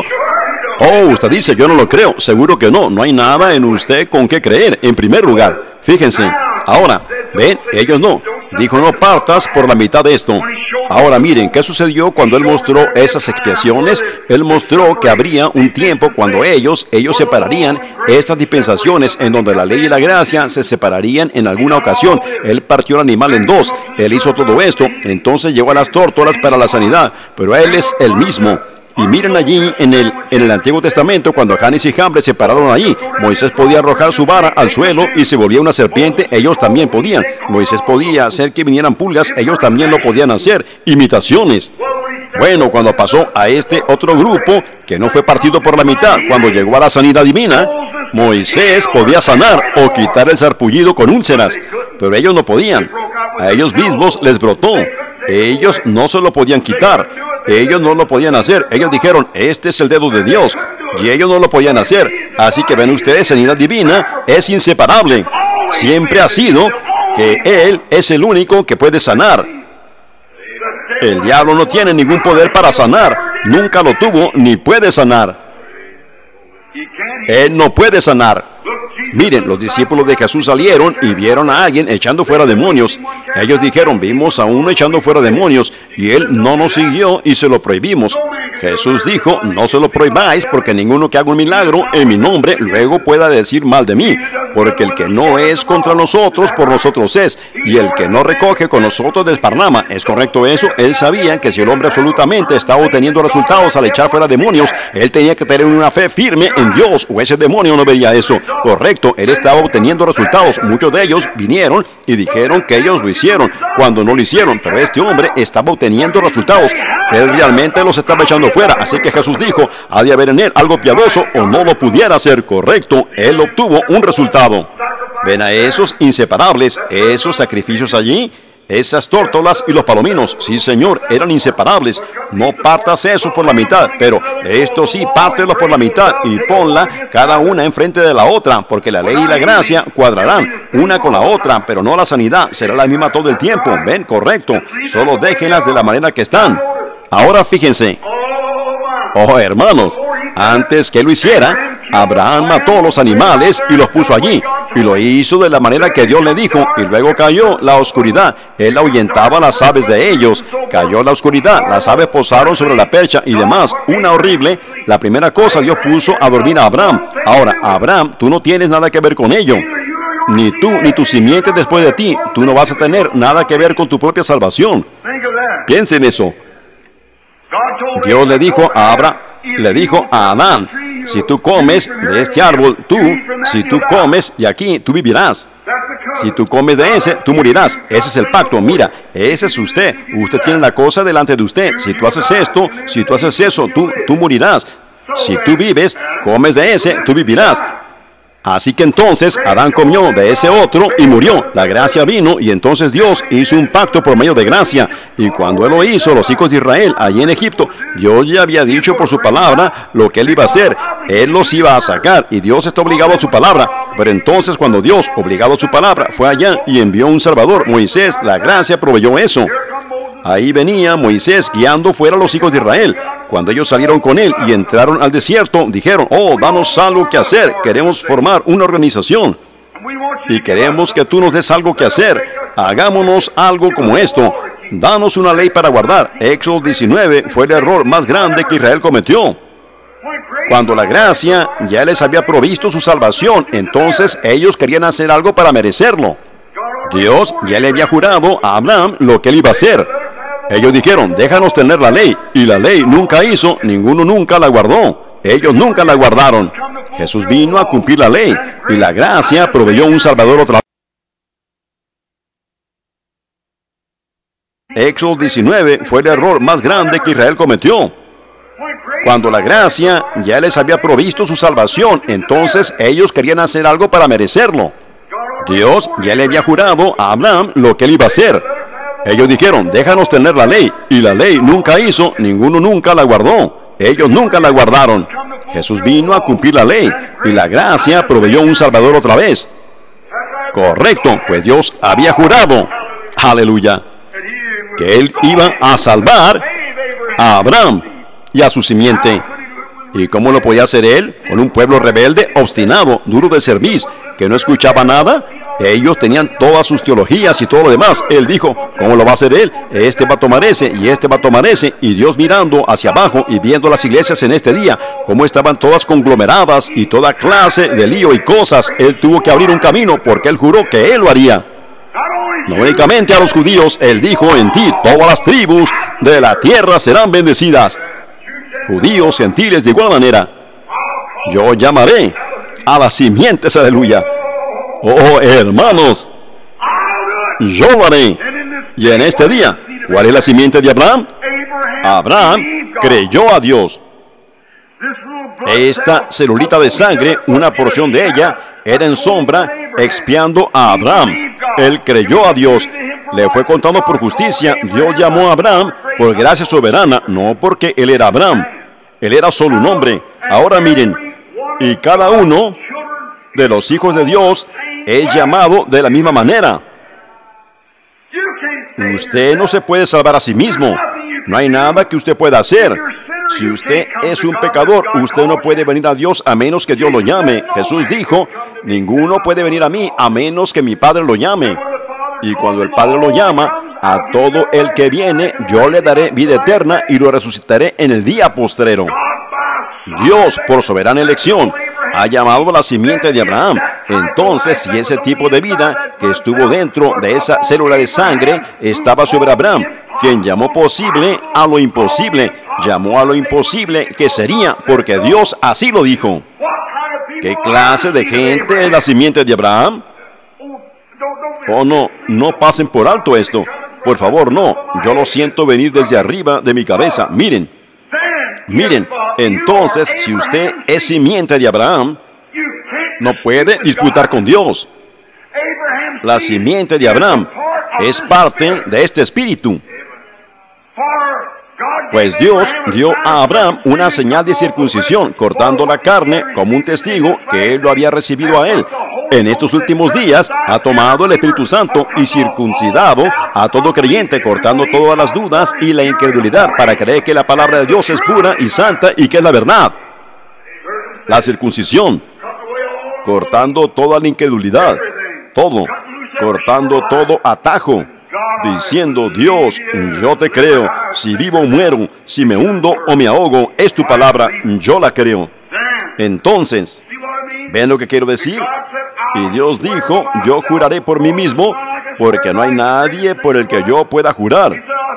Él era la cosa mayor que había. Él dijo, yo juraré por mí mismo que salvaré a Abraham y a su simiente, correcto. Ahora, ¿quién es la simiente de Abraham? Aquellos que están llenos con el Espíritu Santo. Son simiente de Abraham. Miren, miren, pues de Abraham vino Isaac. Por medio de Isaac vino Cristo. ¿Cómo entramos entonces en Cristo? Nosotros únicamente podemos estar en Cristo. La Biblia dice, vosotros que estáis en Cristo, estáis muertos y participáis de la simiente de Abraham y sois herederos según la promesa. ¿Es correcto eso? Aquellos que están muertos en Cristo son simiente de Abraham y herederos según la promesa.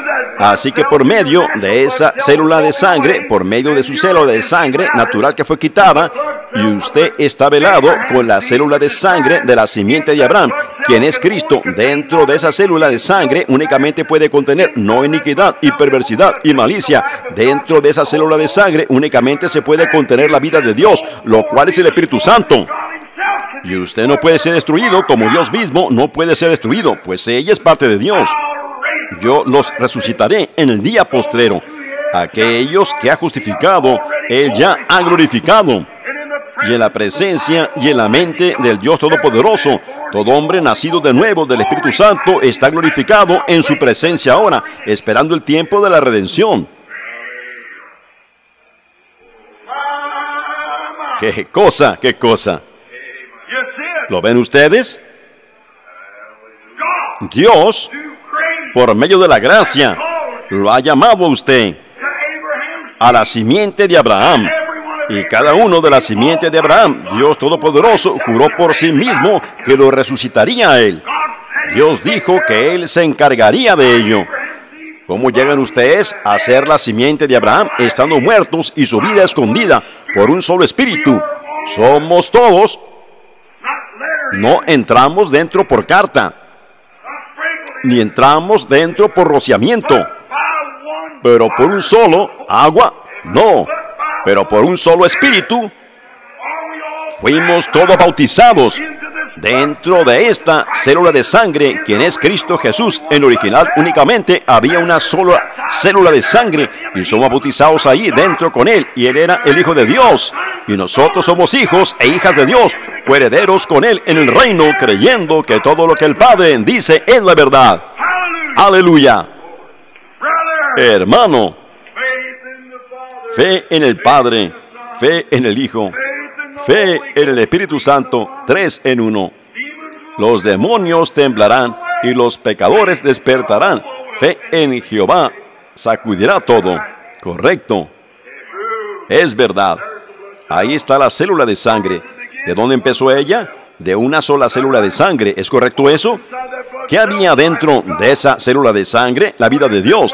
¿Qué le sucedió a esa célula de sangre? Fue lanceada por el pecado. Una lanza romana la lanció el pecado, la lanció. ¿Por qué? Porque el pecado fue puesto sobre él y le plació a Dios. La justificación fue comprada ahí mismo. Dios dijo, eso lo concluye para siempre. Ahí está.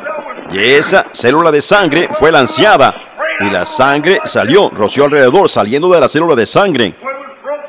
Cuando ella fue rota allá en el Calvario, ¿para qué? Para abrir esa célula en donde ningún hombre jamás había entrado para traerlo a usted y a mí dentro de esa célula de sangre, trayéndolo a través de la sangre, lavados por el lavacro de la palabra, por medio de la sangre de Cristo. Sin derramamiento de sangre no hay perdón de pecados, tomando al pecador perdido por gracia, pasándolo a través de esta célula de sangre aquí adentro y dándole el Espíritu Santo. Pasa este por aquí, le da el Espíritu Santo y nosotros somos herederos con Cristo en el reino de Dios. Que el Dios que está en usted se despierte, o mejor dicho, mátese usted mismo para que usted pueda despertar al hecho que es Dios, al grado que usted lo reconozca a Él, lo pase a través de la célula de sangre, lo pase a través del rociamiento.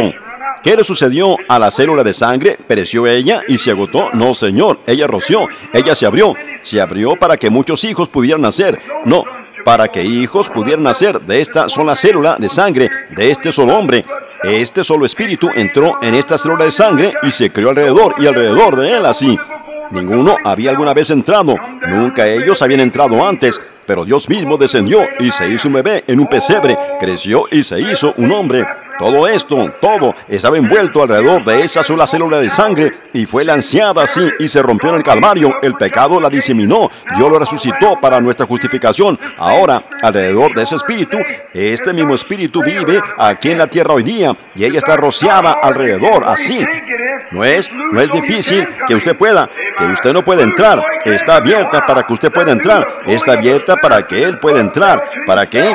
Para que al pasar a un pecador a través de esta célula de sangre, mismo y yo, si fuera levantado de la tierra, a todos atraeré a mí mismo. Y cuando Él pasa a ese pecador a través de ese célula de sangre, Él lo limpia Él de toda injusticia, aleluya, y lo mete dentro de sí mismo por el Espíritu Santo. Y el pecador es una nueva criatura en Cristo Jesús, bautizado allá adentro por el Espíritu Santo, lo mete aquí. Y la parte del hombre allí adentro es piadosa. Él es un hijo de Dios, ella es una hija de Dios. Todos los deseos del mundo están muertos porque ellos están en, entre Él y el mundo está la sangre de Jesucristo entonces Él todo lo espera, todo lo cree. Aleluya.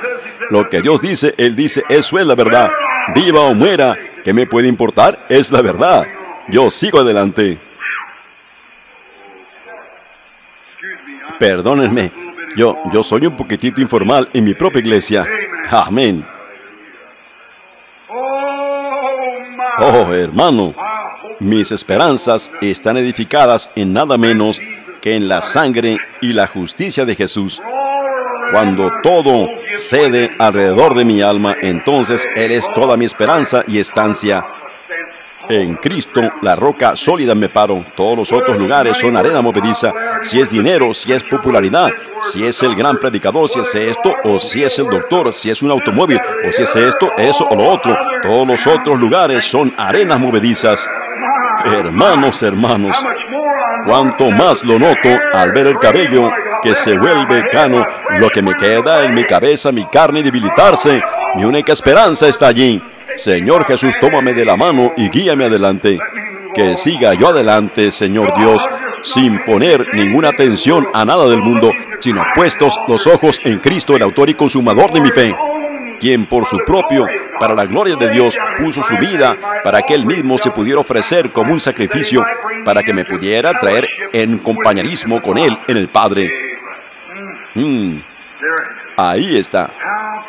¿Cómo pudieran los pecadores mirar eso e irse? Es más allá de todo lo que yo puedo pensar. Muy bien, rápidamente ahora tenemos que apurarnos antes que terminemos. La cual tenemos el versículo 19 como ancla del alma. Aquí viene otra vez.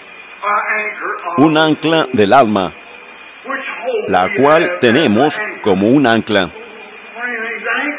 Cuando algo está anclado no se puede mover. Yo tengo un ancla que me mantiene totalmente firme y seguro mientras las olas del mar se levantan. Anclado en la roca que me hace salvo. Cimentado, seguro y estable en el amor del Salvador. Esta ancla un día, cuando yo estaba fuera del alcance del rociamiento, un día Dios tomó a este pobre pecador perdido y lo pasó a través de ese rociamiento, sí Señor, y me trajo hasta aquí y me ancló allí adentro, me abrazó y todo lo demás, no importa lo que sea. Mi alma espera en ti. ¿Ven? Tenemos un ancla firme y segura. Miren aquí, la cual tenemos como segura y firme ancla del alma, no llevados por toda doctrina y todo viento, llevados de un lado al otro, tomando lados aquí y tomando lados acá, y no saben en dónde ustedes están parados. La Biblia dice, quisiera que ustedes estuvieran confirmados, no diciendo, bueno, yo soy, yo soy esto hoy y algo más mañana. Ancle su alma en Jesucristo, nazca de nuevo, la vida de Dios viviendo en usted, y usted sabrá sin lugar a duda que ha pasado de muerte a vida. Todas sus esperanzas están edificadas allá en el Calvario. El amor de Dios se derrama por todo su corazón. Y usted cree que toda palabra que Dios dice es de verdad. Usted está dispuesto a morir por cualquier fase de Él. ¿Ven lo que quiero decir? Firme y segura.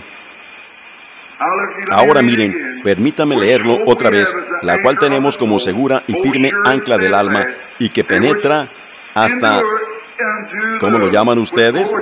dentro del velo. Eso, ¿qué? ¿Dentro del cual velo? ¿De cuál velo estoy hablando? el velo de la sangre, la sangre.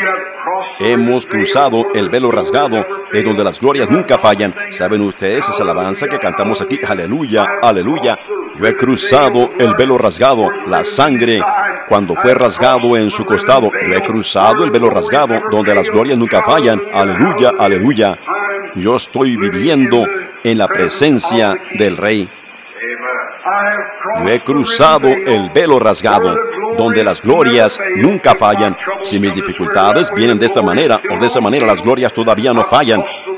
He cruzado el velo rasgado, donde las glorias nunca fallan. Aleluya, aleluya. Pues estoy viviendo en la presencia del Rey. Él me ha traído dentro de su compañerismo a través del costado rasgado de su Hijo Cristo Jesús, haciéndome parte de Él, para creer todas las cosas, para creerle a Él, para confiar en Él, para pararme firme allí, donde las glorias nunca fallan. Todas las cosas les ayudan a bien para aquellos que lo aman, así que las glorias nunca fallan. Yo he cruzado el velo rasgado donde las glorias nunca fallan. Aleluya, aleluya. Yo estoy viviendo en la presencia del Rey. Mis esperanzas están edificadas ahí en nada menos. Yo vengo a través de la sangre que me salvó. Yo vengo a través de la sangre que me sanó. Todo de lo que yo tengo necesidad mientras estoy aquí adentro, yo clamo por esos atributos allá que están en el Calvario y ellos son míos. Ellos son míos gratuitamente. Si el Padre no me los puede dar, Él me dirá el por qué. Mi fe todavía espera en Él diciendo, Señor, yo creo que tú sabes lo que es mejor para mí, así que yo me entrego a ti y aquí estoy, amén. Ojo, ahí lo tiene. Mi confianza está en Él, en Él, el Dios del cielo. Ahora observen donde el precursor.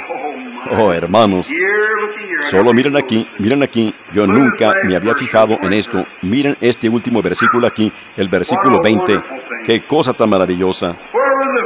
Donde Jesús entró por nosotros como precursor, el precursor, hecho sumo sacerdote para siempre, según el orden de Melquisedec, el precursor, el hombre que entró por nosotros, y como el que vino y tomó nuestro lugar, nadie más sino Dios mismo. Él descendió y él mismo se hizo un hombre para ser un precursor, para probarle a la gente. Porque Él juró por un juramento que Él lo iba a hacer. Él juró que Él nos iba a salvar. Él juró que nosotros lo podíamos hacer. Él nos juró estas cosas por Él mismo. Entonces Él descendió y fue hecho un precursor. Él mismo se hizo un precursor. Él entró aquí en el mundo y vivió en el mundo con el pecado todo alrededor de Él y sin embargo por encima del pecado, porque Él confió en Dios. ¿Es correcto eso? Luego Él también fue allá y murió como un pecador clavado en la cruz. Toda cosa física mostró que Él estaba muerto. Ellos lo golpearon, ellos lo colgaron allí. Bueno, Él sangró lo bastante para morir. Y luego ellos se acercaron, Él estaba muerto. Los cielos declararon que Él estaba muerto. La tierra dijo que Él estaba muerto. Todo dijo que Él estaba muerto. El soldado romano metió con fuerza una lanza en su corazón, que allí dejó su sangre salir, sangre y agua, las cuales se habían separado como muestra de su desconsuelo, y eso dijo que él estaba muerto, el agua. Miren, si el hombre estaba colgado allí, y la sangre y el agua salieron, mostró que la sangre y el agua se habían separado. Aleluya, él estaba muerto. Y él no murió por causa de la espada. Él no murió por causa que lo lanzaron. Él murió a causa de su desconsuelo. No hay nada en el mundo que separe la sangre del agua. Pregúntenle a cualquier científico que ustedes quieran o a cualquier doctor. Él les dirá únicamente a través de gran desconsuelo. Algunas veces que la gente sufre tanto que pueden, ustedes saben, desconsuelos como aflicciones y cosas así. Algunas veces causan un ataque de corazón y los matan cuando la sangre y el agua se separan. Y eso es lo que mató al Señor Jesús. Él murió bajo las manos de Jehová. Correcto. El precio completo, justicia porque Dios requirió justicia. Correcto. Y ningún hombre le podía quitar su vida. Él dijo, yo de mí mismo la pongo. Nadie me la quita. Yo de mí mismo la pongo y yo la tomaré. Y Dios mostrando que a través de la muerte más dura y cruel que un mortal pudiera haber muerto, Dios pasó al precursor Jesucristo. Y Él descendió aquí como un hombre, Él vivió, Él comió, Él bebió, Él lloró, Él durmió, Él se regocijó con nosotros como hombre. Él estuvo allí en la cruz y murió. Y fue embalsamado. Con una espada sacaron la sangre de su cuerpo y fue envuelto en la sábana y puesto en la sepultura y estuvo en el sepulcro por tres días y noches y su alma fue al infierno.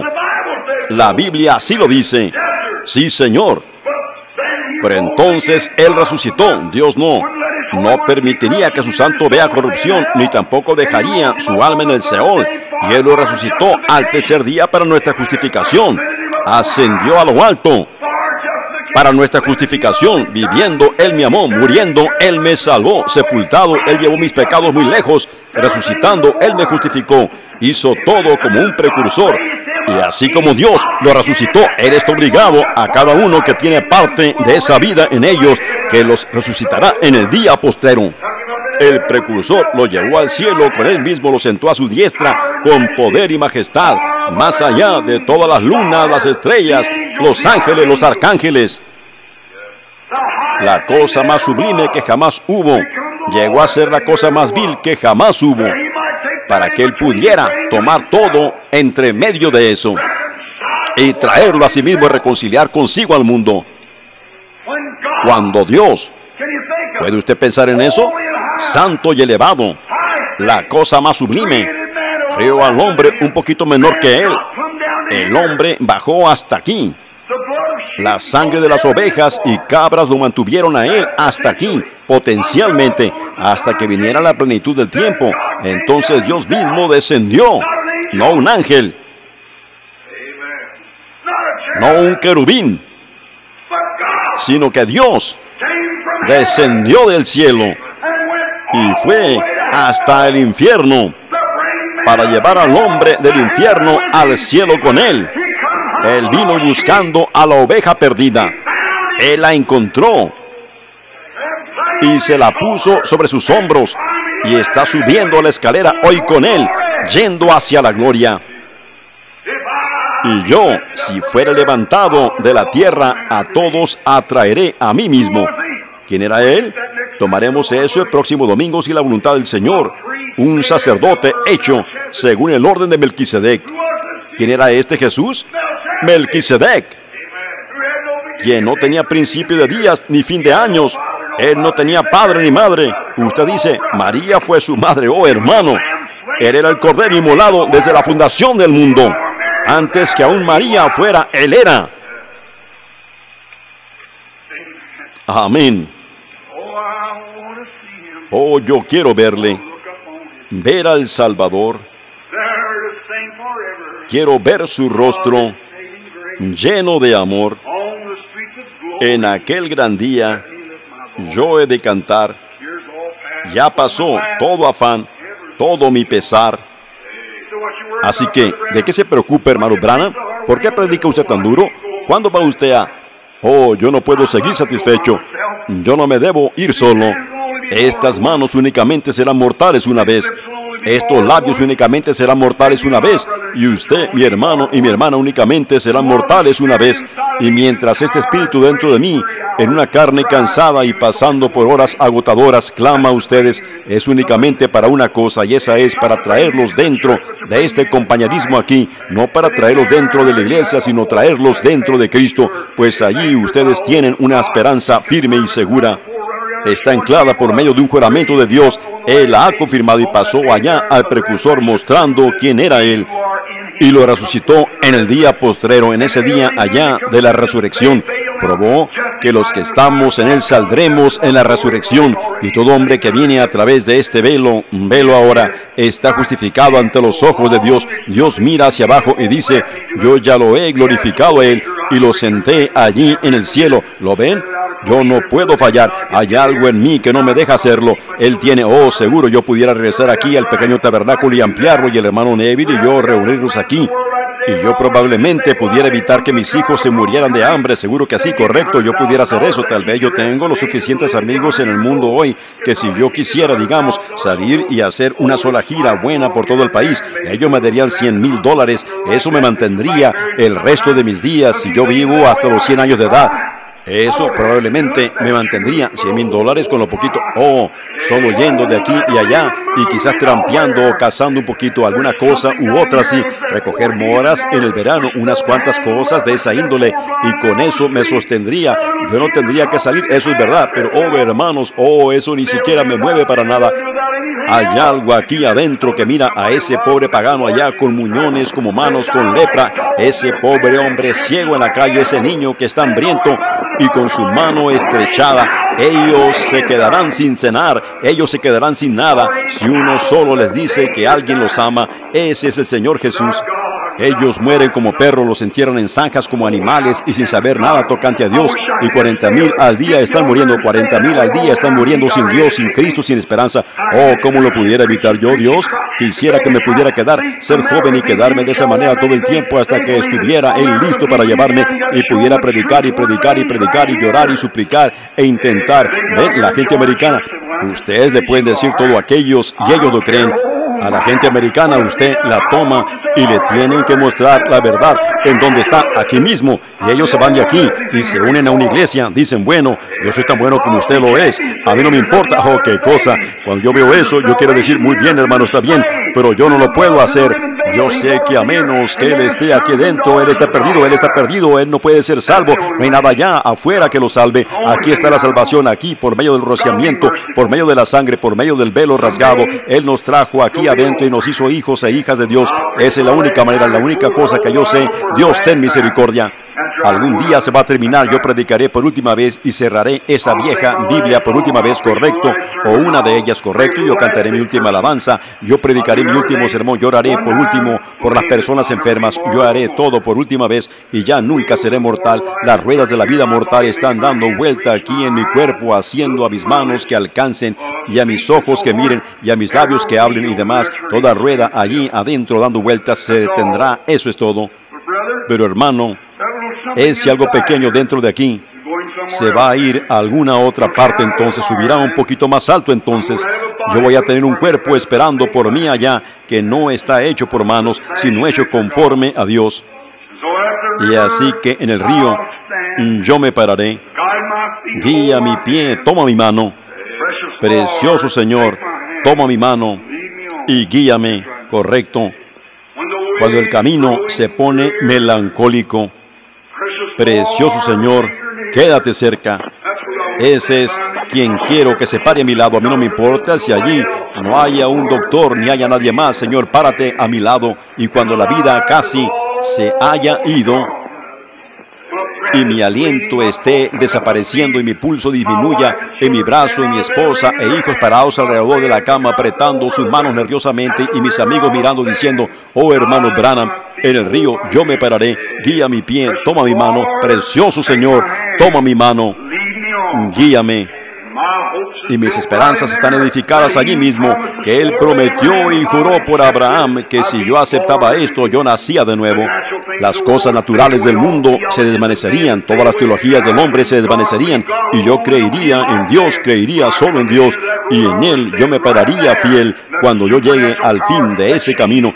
Yo me quiero parar allí mismo, en ese poder sobrenatural que me cambió de ser un pecador a un cristiano. Yo confiaré en Él ese día para mi todo en todo. Si ustedes no lo han hecho todavía, mi hermano, hermana, háganlo hoy. Lo harán mientras oramos. Padre Celestial, te damos gracias de lo profundo de nuestra alma por tu palabra. Oh, qué consolación tenemos de saber que nuestras esperanzas están edificadas en nada menos que la sangre de Jesús y su justicia. Cuando todo a mi alrededor, por todas partes, toda esperanza terrenal ha fallado y se ha perdido, entonces tenemos a Jesús. Las paredes caen, las cosas terrenales se dispersan como la noche delante del sol, pero el Señor Jesús permanece el mismo en nuestras vidas. Si hay uno aquí esta mañana, Padre querido, que no sabe de seguro, más allá de toda sombra de duda, que ha pasado de muerte a vida, Ninguna buenas obras, ninguna iglesia, ni nada más puede salvar. Solo tú y tú nada más. Que ese hombre, Padre, te pido. Y con mis palabras toscas, esta mañana yo no lo pude presentar de la manera que tú me lo diste. Pero en mi manera tosca, yo pido que hombres y mujeres en este edificio esta mañana lo hayan recibido a tal grado que ellos puedan saber que deben ser filtrados a través de este rociamiento de sangre y traídos dentro del compañerismo de Dios, coherederos con Jesús en el reino de Dios por un solo espíritu. No que algún hombre nos empujó para que atravesáramos, sino un espíritu dentro de la célula de sangre nos llevó, nos atrajo a sí mismo y venimos por medio de la sangre y ahora estamos dentro de Cristo en el compañerismo. Si ellos no están ahí adentro, Padre, aunque ellos sean miembros de iglesia por años, aunque ellos se hayan esforzado mucho, Padre, tómalos para que atraviesen en esta mismísima hora y los lleves directamente dentro de ti, dentro de tu compañerismo, que cuando la vida se termine aquí en la tierra, que vida eterna habite dentro de nosotros el Señor Jesucristo y que seamos resucitados en el día postrero, como Él lo fue. Qué decepción será ver a miembros de iglesia y gente parados allí que por toda su vida solo han bromeado al respecto y nunca supieron lo que verdaderamente era nacer de nuevo cuando tú dijiste que el que no naciere de agua y de espíritu de ninguna manera entrará al reino. Él sencillamente no puede entrar, Padre, pues ese es el único lugar en donde hay vida eterna. Los apóstoles dijeron, ¿a dónde iremos? Cuando tú les preguntaste si ellos se querían ir, ellos dijeron, solamente tú tienes vida eterna. Te pido Dios que todo hombre, mujer, muchacho y muchacha en este edificio esta mañana sean traídos dentro de ese compañerismo pues yo encomiendo todas estas cosas a ti en el nombre de tu Hijo, el Señor Jesús. Amén.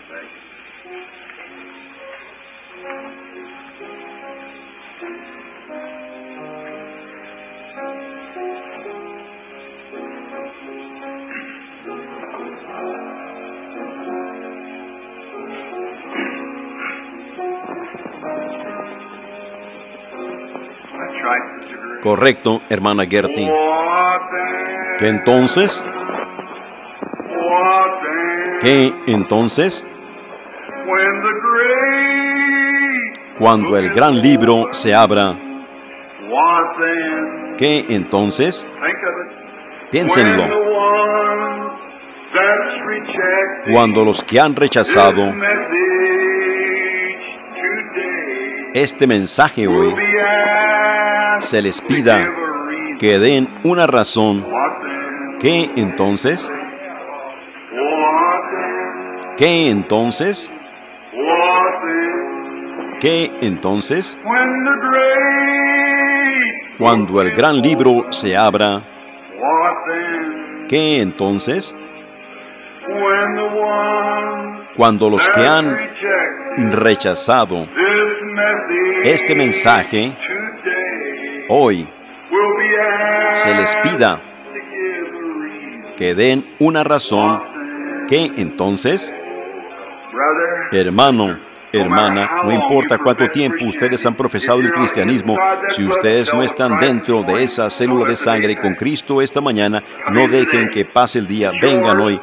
Es de ustedes, ustedes no tienen que venir al altar, la única cosa que tienen que hacer es aceptarlo, creerlo y Dios, en cambio, si la fe de ustedes es directa, como era la de Abraham, entonces Dios les dará el Espíritu Santo para sellarlos a ustedes dentro de su reino y ustedes están sellados hasta el día de su redención. La Escritura dice, no contristéis al Espíritu Santo de Dios, con el cual fuisteis sellados para el día de su redención. ¿Cuántos dirían, hermano Branham, de mi parte, yo estoy orando y confiando en Dios que estaría allí? Veamos sus manos levantadas, o oh, por donde quiera en el edificio. Yo estoy confiando en Dios estar allí. Dios los bendiga. Ciento por ciento, Señor. Oh, ¿no será maravilloso? Oh, hermanos, piénsenlo.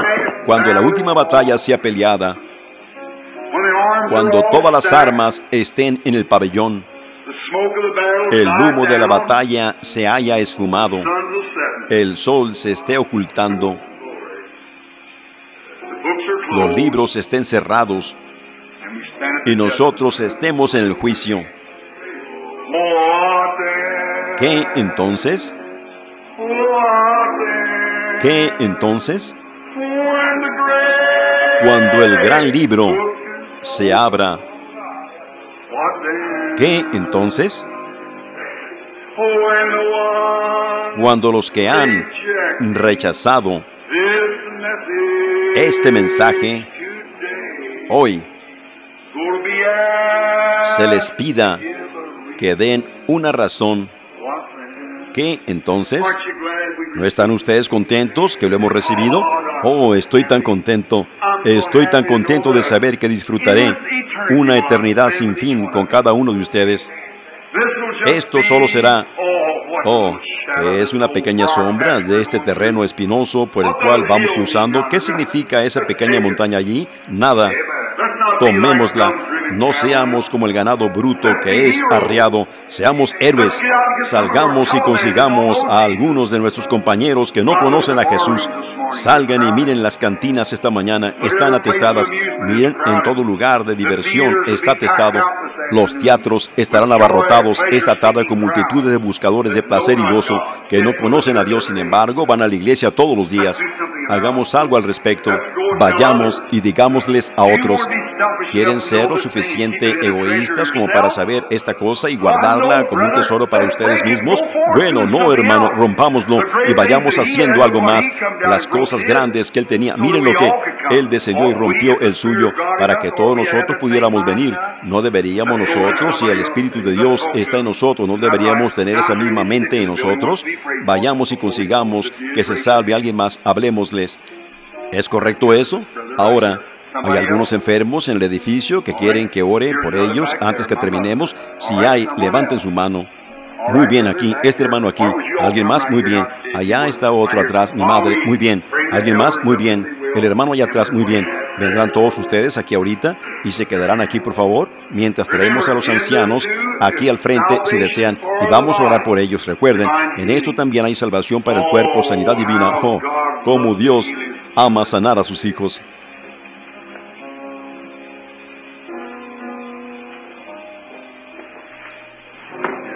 Pastor, ¿tiene usted el... Ahora, si usted viene por favor aquí enfrente del altar, solo un momento. Gracias, hermano. Si usted por favor toca el gran médico allí, hermana Gertie, mientras el resto de nosotros estamos humildes y quietos solo por un momento, este gran médico ahora está cerca. El compasivo Jesús. Ahora, por fe, mis hermanos y mi madre, entren en esta célula de sangre con el Señor Jesús, en donde todas estas bendiciones redentivas son suyas. Ustedes son cada uno cristianos, me imagino. Y entonces, si ustedes son cristianos, ustedes tienen derecho, un derecho legal para todo por lo que Cristo murió. Es su posesión, ustedes son dueños de ello, es de ustedes. Ahora, la única cosa que ustedes pueden hacer es lo que hizo Abraham. Después que él había soportado la batalla, él alcanzó la promesa. Satanás no los dejará que ustedes la tomen fácilmente. Ustedes tienen que tener fe, ustedes tienen que creerla, ustedes tienen que soportar.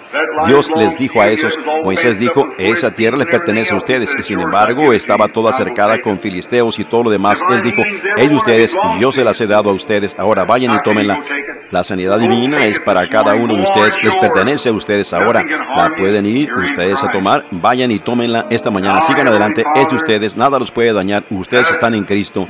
Ahora nuestro Padre Celestial, como tus siervos, estando tu anciano parado aquí a mi lado, Señor, vamos a ungir a los enfermos de acuerdo a tu palabra. Tú has dicho que llamen a los ancianos, que los unjan con aceite, oren por ellos y la oración de fe salvará al enfermo. Y otra vez está escrito que Jesucristo, las últimas palabras que salieron de sus labios sagrados, sobre los enfermos pondrán sus manos y sanarán. Para confirmar que ambos, los apóstoles y Jesucristo, enseñaron lo mismo, Vamos a ungir a los enfermos y poner manos sobre ellos, creyendo que tú los sanarás. Aquí están parados estos tres hombres y mi propia madre. Y te pido, Dios, que tu Espíritu Santo entre a sus corazones en estos momentos mientras ellos han sido atraídos por medio de esta célula de sangre dentro del compañerismo del Señor Jesús, sabiendo que estas vidas mortales desaparecerán algún día, pero esa vida eterna vivirá para siempre. Hay otro cuerpo esperándolos tan pronto como ese termine, pero Dios, ellos quieren testificar, ellos son mortales. Ellos nunca serán mortales otra vez después que termine esta vida y únicamente tienen esta sola vez y eso lo concluye para siempre. Ellos serán inmortales de allí en adelante, pero mientras sean mortales y tengan una oportunidad de testificar a los seres que son como ellos, sana sus cuerpos, Dios, para que puedan salir y hablar de la palabra y decir a la gente de ella, concédelo, Señor. Sobre estas bases yo traigo esta petición a ti como tu siervo o un sacerdote o ministro. Yo los traigo a ti para que puedan vivir y ser sanos para tu gloria. y los traigo a través de la sangre del Señor Jesús. y vamos adelante ahora para hacer lo que tú dijiste que hiciéramos y desafiamos haciendo esto a todo espíritu de incredulidad y los echamos fuera de ellos para que las obras de Jesucristo sean hechas en el cuerpo de ellos. Padre, ungimos a nuestro hermano aquí con este aceite en el nombre de tu Hijo, el Señor Jesús, y desafiamos al enemigo que se vaya de él y que su enfermedad del cuerpo lo deje y que él sea saludable y feliz para servirte. Lo pedimos por medio de Jesucristo. Amén. Y mientras nuestro hermano pone este aceite de la unción sobre la cabeza de esta mi madre, Dios Todopoderoso, el Creador de los cielos y la tierra, el autor de vida eterna y dador de todo buen don, que resucitaste a tu Hijo Cristo Jesús nacido de mujer, hecho, formado a semejanza de carne pecaminosa, y la llevó para sacar el aguijón de la muerte y para llevar en su propio cuerpo la enfermedad de nuestros cuerpos. Aceptamos eso y hacemos esto esta mañana y es para mi madre y creemos ahora que tú la sanarás mientras obedecemos tu palabra como tus hijos, te pedimos que el espíritu de enfermedad deje a mi madre y que ella sea libre por medio de Jesucristo, el Hijo de Dios. Amén.